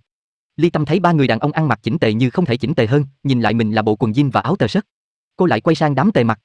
Chẳng cần nhìn cũng biết Tề mặt ngoài công lét hình như không còn đồ gì khác, Hồng Ưng cũng điệp lét sang trọng. Ly Tâm nhún vai bất cần, mặc kệ họ, cô thích ăn mặc kiểu gì là quyền của cô. Thấy Hồng Ưng xuống xe, Ly Tâm liền đẩy cửa bước xuống theo. Ba người đàn ông đang đi tới thấy đám Hồng Ưng, Hoàng Ưng lại càng đi nhanh hơn, mặt mũi tươi cười hớn hở. Ly Tâm xuống xe thuận tay đóng cửa. Hoàng Ưng trông thấy liền giơ tay giữ cửa xe lại và trừng mắt nhìn cô. Ly Tâm quay lại bắt gặp ánh mắt lạnh lùng của Tề Mặc. Ly Tâm hơi sững người, ánh mắt Tề Mặc lóe lên tia cảnh cáo cô. Hoàng Ưng đứng bên cạnh hơi cúi người. Ly Tâm nghiến răng rủa thầm. Shit, cô quên mất cô là đầy tớ của Tề lão đại đang còn ngồi ở trong xe. Ly Tâm vội đứng sang một bên tránh đường, hơi cúi người cung kính về phía Tề Mặc. Tề Mặc đảo mắt qua Ly Tâm, từ từ bước xuống xe. Tề lão đại. Hôm nay Tề lão đại nể mặt Phong Tế, đúng là vinh hạnh của Phong Tế. Tề lão đại, mời vào trong. Người đàn ông tóc bạc đến trước Tề Mặc, giơ tay chào đón. Tề Mặc lạnh lùng liếc Phong Tế. Hắn lập tức đi vào trong, chẳng thèm để ý đến bàn tay của Phong Tế đang giơ ra muốn bắt tay hắn. Phong Tế cười ngượng ngập rồi đi theo dẫn đường cho Tề Mặc. Ly Tâm chứng kiến cảnh này bất giác lắc đầu. Ông già kia biết rõ thân phận và tính cách của Tề Mặc, còn thích tỏ ra sĩ diện trước mặt mọi người. Ông ta không nghĩ, Tề Mặc làm sao có thể bắt tay thuộc hạ của đối thủ, để bây giờ mất hết thể diện. Ly Tâm theo Phong Tế đi vào bên trong, cả khu lưu cư ngồi chật kín người. Lúc này, mọi người đều đứng dậy nhìn Tề Mặc. Tề Mặc không hề bận tâm đến đám người đó, bất kể họ là người của Phong gia hay các thế lực khác đến chúc mừng. Hắn đi thẳng vào phía trong. Ly Tâm nhún vai, người này đúng là ngạo mạn quá. Phong Tế tươi cười gật đầu với những người ngồi ngoài, chân vẫn tiếp tục bước theo Tề Mặc vào bên trong. Dù sao, trong số những người dự tiệc tối nay, Tề Mặc có thân phận cao nhất, tất nhiên ông ta phải đối xử tử tế nhất. Tòa nhà bên trong trang trí vô cùng lộng lẫy. Chủ và khách quý đi thẳng lên tầng 3. Ly Tâm quan sát thấy, tầng 1 dường như là nơi nghỉ ngơi, có bàn bóng, quầy bar và một đám phụ nữ quỳ thành hàng chờ hầu hạ. Tầng 2 là phòng massage, cách bài trí và ánh đèn mờ mờ đầy ám muội. Các mỹ nữ quỳ ở đó ăn mặc hở hang, tạo bầu không khí nóng bỏng. Tề Mặc đi qua đến liếc cũng không thèm liếc, bước luôn lên tầng 3. Tầng 3 là phòng yến tiệc rất lớn, giữa căn phòng bày một chiếc bàn trắng trang nhã. Ly Tâm vừa nhìn vào, cảm giác muốn ăn đột nhiên biến mất. Một cô gái vô cùng diễm lệ trần truồng nằm trên chiếc bàn ăn, làn da cô ta trắng muốt, đường cong cơ thể hoàn hảo. Ngay cả bộ phận kín cũng không có gì che đậy. Cô gái khép hờ mi mắt, đôi lông mi không ngừng động đậy, toát ra vẻ mềm yếu khêu gợi. Trên người cô gái bày đầy các món ăn. Màu xanh đỏ tím vàng của thức ăn phối hợp, khiến mỹ thể càng thêm sinh động, nhưng Ly Tâm lại có cảm giác buồn nôn. Tề Mặc đứng bên cạnh quan sát chiếc bàn ăn trắng. Hắn vẫn giữ gương mặt vô cảm không thay đổi. Hắn từ từ ngồi xuống như không hề nhìn thấy cảnh tượng đặc biệt trước mắt. Ly Tâm không thể không khâm phục Tề Mặc. Không biết hắn có tính lạnh lùng bẩm sinh hay sau này mới được tôi luyện. Loại người như hắn nếu núi Thái Sơn có sụp ngay trước mặt chắc cũng không chấp mắt. Tề lão đại, mời, mời. Đây là món đặc sắc nhất của bản địa. Hôm nay Tề lão đại nhất định phải thưởng thức phong vị này, Phong Tế Hoa chân múa tay tươi cười ngồi đối diện Tề Mặc. Sắc mặt của Tề Mặc không hề thay đổi, hắn nhìn mỹ thể bằng ánh mắt lạnh lẽo và sắc bén. Ly Tâm đứng bên cạnh đột nhiên có cảm giác, Tề Mặc không phải đang thưởng thức mỹ thể mà là nhìn một xác chết. Phong Tế thấy Tề Mặc vẫn không động đũa, ông ta liền cười nói, Tề lão đại yên tâm đi. Những cô gái này đều được tắm rửa ba lần, sạch sẽ tuyệt đối. Hơn nữa, họ đều là trinh nữ chưa bị ai động vào. Tề lão đại, xin hãy nhập gia tùy tục. Mời Tề lão đại thưởng thức, mùi vị thật sự không tồi. Tề Mặc liếc nhìn Phong Tế, rồi đảo mắt qua người cô gái nằm trên bàn. Ly Tâm phát giác, lúc ánh mắt lạnh lẽo của Tề Mặc quét qua thân thể cô gái, đôi mắt đang khép hờ đột nhiên run rẩy, thân thể ngọc ngà bỗng chốc lắm tấm mồ hôi. Ly Tâm không khỏi than thầm, tên Tề Mặc này quả là lợi hại. Chỉ bằng ánh mắt, hắn có thể khiến cô gái kia xuất hiện phản ứng sợ chết khiếp. Phong Tế, đây chính là sự tiếp đãi của ông. Mời khách bằng một thứ bẩn thỉu. Tề Mặc tối sầm mặt, phóng ánh mắt giết người về phía Phong Tế. Phong Tế bất giác rùng mình. Tuy ông ta là người đứng đầu Phong gia nhưng quyền lực thực tế có khi không bằng Hắc Ưng của Tề gia. Bị Tề Mặc gọi thẳng tên, ông chỉ có thể nuốt cục tức trong lòng, ngoài mặt vẫn cười giả lả, đắc tội rồi, đắc tội rồi. Tôi lập tức kêu người dọn dẹp. Tề lão đại thứ lỗi. Thuộc hạ đứng đằng sau Phong gia không nói một lời nào, lập tức bước tới cuộn tròn cô gái vào tấm khăn giải bàn rồi ném ra ngoài. Những người khác vội vội vàng vàng đi lại dọn dẹp. Một lúc sau, trên bàn bày đầy những đĩa thức ăn sơn hào hải vị thông thường. Tề lão đại, sau này Phong gia sẽ cắm rễ ở đây. Có gì cần Phong gia giúp đỡ, xin Tề lão đại cứ mở miệng, Phong gia tuyệt đối không khước từ. Sau khi thay bàn tiệc mới, Phong Tế giơ ly rượu về phía Tề Mặc. Tề Mặc nghe vậy liền nhếch mép cười, nhìn Phong Tế bằng ánh mắt miệt thị. Ở Đông Nam Á, hắn cũng là lão đại, cần gì đến sự giúp đỡ của gia tộc nhỏ bé như Phong gia. Đúng là buồn cười thật, lão già Phong Tế này hồ đồ rồi, dám coi hắn ngang hàng với ông ta. Hồng Ưng cất giọng lạnh nhạt, "Phong Tế, ông nói ngược rồi." Phong Tế cười ha hả, "Xin thứ lỗi. Tôi chỉ muốn bày tỏ lập trường với Tề lão đại mà thôi. Dù sao chúng ta cũng là người ngoài đến đây, nên giúp đỡ lẫn nhau. Tuy Tề gia có thế lực lớn nhưng Phong gia cũng không phải vô dụng. Có thể một lúc nào đó, Tề gia cần đến Phong gia cũng nên." Tề mặt nhếch mép, có lúc cần đến. Phong Tế vẫn tươi cười, đúng vậy. Nói rồi ông ta vẫy tay, mấy cô gái đang quỳ ở góc phòng liền bước tới. Có người đẹp kiểu trong sáng, có người đẹp kiểu quyến rũ gợi cảm, họ đều là những giai nhân tuyệt trần. Một điểm chung là mấy cô gái này mặc đồ thiếu vải, để lộ làn da nõn nà. Họ quỳ xuống bên cạnh Tề Mặc và Phong Tế, bắt đầu gấp thức ăn cho hai người. Trên môi các cô luôn nở nụ cười ngọt ngào. Ly Tâm bất giác cảm thán trong lòng, nếu có mỹ nam phục vụ cô như vậy thì tốt biết mấy. Cô không thích mỹ nữ, chỉ thích các anh chàng đẹp trai. Cúc. Ly Tâm còn đang ngưỡng mộ Tề Mặc được đối đãi tốt. Cô đột nhiên thấy Tề mặt tối sầm mặt, tay hắn đưa ra rất nhanh, một tiếng trắc vang lên. Cổ tay cô gái ngồi bên cạnh Tề mặt buông thõng xuống. Theo tiếng quát của Tề mặt cô gái mới có phản ứng, gục xuống nền đất, nước mắt giàn dụa vì cổ tay bị gãy quá đau đớn. Ly Tâm sững người. Vừa rồi cô không nhìn nhầm, cô gái trong lúc gấp thức ăn cho Tề mặt đã vô tình chạm vào tay hắn. Có thế thôi mà hắn cũng tức giận. Phong Tế liền đổi sắc mặt, quát lớn, các ngươi làm gì vậy, một chút lễ nghĩa cơ bản cũng không có. Mau đưa ra ngoài trừng phạt nghiêm khắc cho ta. Dạm động vào khách quý của ta, cút đi. Mấy cô gái vô cùng hoảng sợ, bị thuộc hạ của Phong Tế lôi sình sệt ra ngoài. Chúng không hề tỏ ra thương hoa tiếc ngọc. Ly Tâm cau mày khi nghe thấy tiếng van xin của các cô gái. Sắc mặt của Tề Mặc không thay đổi nhưng từ đáy mắt hắn lóe lên sự ghê tởm. Hắn liền cởi áo công lét ném sang một bên rồi lau sạch bàn tay vừa bị cô gái động vào. Hoàng Ưng nãy giờ vẫn im lặng đằng đằng sát khí với Phong Tế, ông muốn chết ta. Phong Tế toát mồ hôi trắng, lập tức đứng dậy hơi cúi người về phía Tề Mặc, Tề lão đại đừng trách, là thuộc hạ của Phong Tế hồ đồ. Phong Tế làm sao dám mạo phạm quy tắc của Tề lão đại? Phong Tế cũng mới tiếp quản khu vực lưu cư này, đám thuộc hạ là người ở đây từ trước. Phong Tế đã đặc biệt dặn dò chúng cẩn thận với những quy tắc của Tề lão đại, thế mà chúng chẳng nhớ gì cả. Phong Tế nhất định sẽ xử lý vụ này. Vừa nói, ông ta vừa vẫy tay, mắt liếc về phía Ly Tâm. Ly Tâm kinh ngạc nhìn Tề Mặc. Thế này là thế nào? Tề Mặc ghét đụng chạm đàn bà ư? Vậy cô là đàn gì? Tối nào hắn cũng ôm cô ngủ cả đêm, đó là biểu hiện của việc chán ghét hay sao? Tề Mặc nhìn Phong Tế bằng ánh mắt lạnh lùng. Thấy ông ta có vẻ bất mãn, hắn liền mở miệng, cho ông 10 lá gan ông cũng không dám. Phong Tế gật đầu lia lịa, đúng vậy. Quy tắc của Tề lão đại, chẳng ai dám động đến. Phong Tế nhất định sẽ giải quyết êm đẹp vụ này. Tề Mặc không nói gì, đám Phong Tế thở phào nhẹ nhõm. Tề Mặc buồn vui bất định, bình thường không gần gũi nữ sắc. Đó là quy tắc trong giới đều biết. Mỗi khi Tề Mặc tham gia tiệc tùng, không một ai dám sắp xếp con gái phục vụ hắn. Nhưng vài ngày trước, Phong Tế nghe nói bên cạnh Tề Mặc xuất hiện một người phụ nữ. Hơn nữa hôm nay hắn lại mang theo cô ta đến đây. Phong Tế tưởng quy tắc của Tề Mặc đã bị phá bỏ. Nào ngờ, ông ta lại khiến Tề Mặc nổi trận lôi đình. Tề Mặc quay về phía Ly Tâm, đi, đi lấy cái áo cho tôi. Ly Tâm lập tức vâng dạ. Cô đang muốn kiếm cớ rời khỏi nơi này, Tề mặt lại cho một cô cơ hội quang minh chính đại. Vì vậy, Ly Tâm liền đi nhanh về phía cửa. Ra khỏi tòa nhà, Ly Tâm đi về xe ô tô lấy áo cho Tề mặt. Khi quay lại đại sảnh, Ly Tâm còn chưa bước vào, cửa lớn đột ngột mở ra. Ly Tâm liền nhíu mày, tòa nhà này hình như có camera giám sát. Nếu không, sao cửa lại mở kịp thời như vậy? Người ở bên trong không thể nào nhìn thấy cô đang từ ngoài đi vào. Ly Tâm mỉm cười đi vào trong đại sảnh. Ban nãy đại sảnh ngồi chật kín người, bây giờ chỉ còn lác đác vài móng, dường như đều là người của Phong gia. Ly Tâm chậm rãi đi lên tầng 2, đó là nơi đặt tổng nguồn cứu hỏa. Cô phát hiện ra điều này khi đi vào đây. Ly Tâm thông thả đi đến nơi đặt tổng nguồn cứu hỏa. Cô giơ tay về phía đầu nguồn, bàn tay cô không biết từ lúc nào kẹp một con dao lam thật sắc, nhanh chóng cắt đứt sợi dây nguồn ẩn trong tường. Một hồi còi báo động đinh tai nhức óc vang lên trong giây lát. Hệ thống chữa cháy của cả tòa nhà phun khói dày đặc khắp nơi, không nhìn rõ mặt người. Cháy rồi à? Cháy ở chỗ nào? Ly Tâm chỉ nghe thấy tiếng bước chân vội vã và tiếng chất vấn đầy hoảng hốt. Không có gì đâu. Chắc là hệ thống cứu hỏa có vấn đề, không phải bị cháy đâu. Mọi người cứ tiếp tục vui vẻ đi.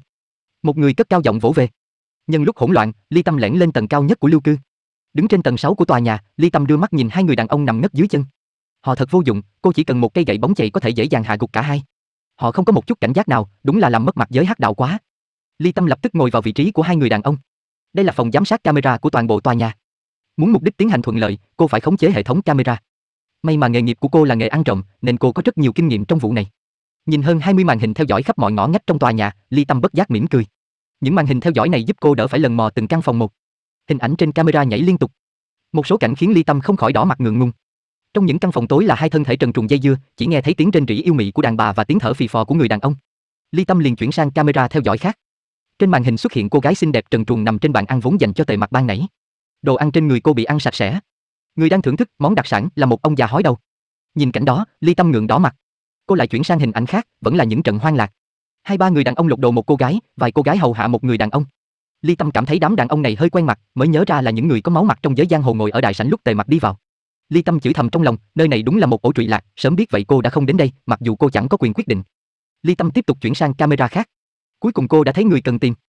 Mấy cô gái phục vụ tiệc rượu ở phòng của Tề Mặc khi nãy bị lôi đến một nơi có đầy dụng cụ tra tấn. Bên cạnh họ là vài người đàn ông mặt mũi hung ác.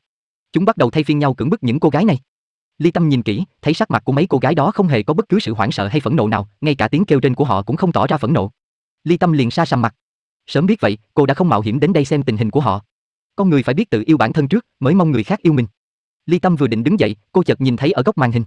Người phụ nữ bị tề mặt bẻ gãy tay toàn thân đầy máu đang kêu gào thảm thiết. Một người đàn ông tay cầm cây sắt nung đỏ bước tới. Qua vết thương trên người cô gái, có thể khẳng định cô vừa bị tra tấn mang rợ. Ly Tâm nghiến răng, rủ thầm một câu. Khi nghe Phong Tế nói với tề mặt ông ta sẽ giải quyết êm đẹp, Ly Tâm biết ngay sẽ có chuyện xảy ra. Tuy những cô gái này làm công việc chẳng ra gì, nhưng tội của họ không đến nỗi phải chết. Với thân phận của tề mặt, người phụ nữ đắc tội hắn chắc chắn sẽ có kết cục thảm thương. Tuy Ly Tâm tự nhận không phải người tốt, cũng chẳng lấy đâu nhiều lòng thương hại kẻ khác, nhưng cô cảm thấy sinh mạng đều đáng quý như nhau. Vì những chuyện còn con mà mà mất mạng thì không đáng chút nào. Đây là nguyên nhân khiến cô mò đến đây. Ly Tâm thở dài nhìn cảnh tượng trên màn hình trước mặt, Ly Tâm lắc đầu và nhanh chóng xâm nhập vào hệ thống. Hôm nay cô gặp may, hai người đàn ông giám sát ở đây đang mở hệ thống, Ly Tâm xâm nhập mà không gặp bất cứ trở ngại nào. Ly Tâm tìm đến công tắc nguồn điện của phòng tra tấn. Cô tắt nguồn điện, màn hình vi tính trước mặt tối đen. Đèn trong phòng tra tấn đồng thời bị tắt ngóm. Sau khi sửa lại một vài trình tự của hệ thống giám sát, Ly Tâm đứng dậy định đi xuống dưới tìm cô gái bất hạnh. Đột nhiên màn hình vi tính tối đen của phòng tra tấn hiện lên tia màu đỏ. Ly Tâm bất giác nhíu mày, thứ này rất đổi quen thuộc với cô, đó là tia hồng ngoại. Một căn phòng dùng để tra tấn cần tia hồng ngoại giám sát. Ly Tâm lập tức ngồi xuống. Đầu cô lóe một câu hỏi. Tại sao không thấy camera giám sát căn phòng của Tề Mặc? Nơi đó không lắp camera sao? Ly Tâm liền tìm lại một cách kỹ lưỡng. Cuối cùng, Ly Tâm cũng tìm thấy camera ở chỗ Tề Mặc. Trên màn hình, gương mặt Tề Mặc vô cùng lạnh lùng, còn sắc mặt Phong Tế cũng rất khó coi, bầu không khí có vẻ căng thẳng.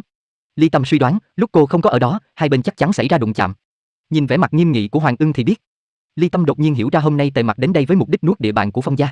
Hắn đã tìm được cớ danh chính ngôn thuận. Ly Tâm bất giác lắc đầu. Tề Mặc ngồi im lặng như núi Thái Sơn, vẻ mặt vô cảm không hề thay đổi. Hắn chắc chắn có ý định chiếm địa bàn của Phong Tế từ lâu, chỉ là chưa động thủ mà thôi. Hôm nay, Phong Tế đích thân mời hắn, khác nào cổng trắng cắn gà nhà, ông ta chết cũng phải. Ly Tâm thở dài một tiếng định bỏ đi. Tay cô vô ý thức chỉnh hình ảnh căn phòng trên đầu Tề Mặc. Ở đó có một đám người vũ khí đầy mình đang im lặng chờ đợi. Ly Tâm thấy những người này chỉ súng ống xuống sàn nhà. Cô liền cau mày không hiểu họ đang làm gì. Ở căn phòng dưới chân Tề Mặc cũng có một đám người trang bị vũ khí tối tân. Trái ngược với đám ở bên trên, bọn chúng đều chỉ súng lên trần nhà. Lúc này, Ly Tâm hiểu ra mọi chuyện. Phong Tế đã bố trí người ở trên dưới phải trái để đón Tề Mặc. Ly Tâm bất giác đưa tay lau mồ hôi trán. Vài chục phút trước cô còn ở trong căn phòng đó, đáng sợ thật. Chỉ cần Tề Mặc có động tĩnh gì không thỏa đáng, hắn sẽ bị bắn thành tổ ong vò vẽ ngay lập tức. Hết chương 40. Cảm ơn các bạn đã lắng nghe, nhớ đăng ký kênh để ủng hộ mình nha.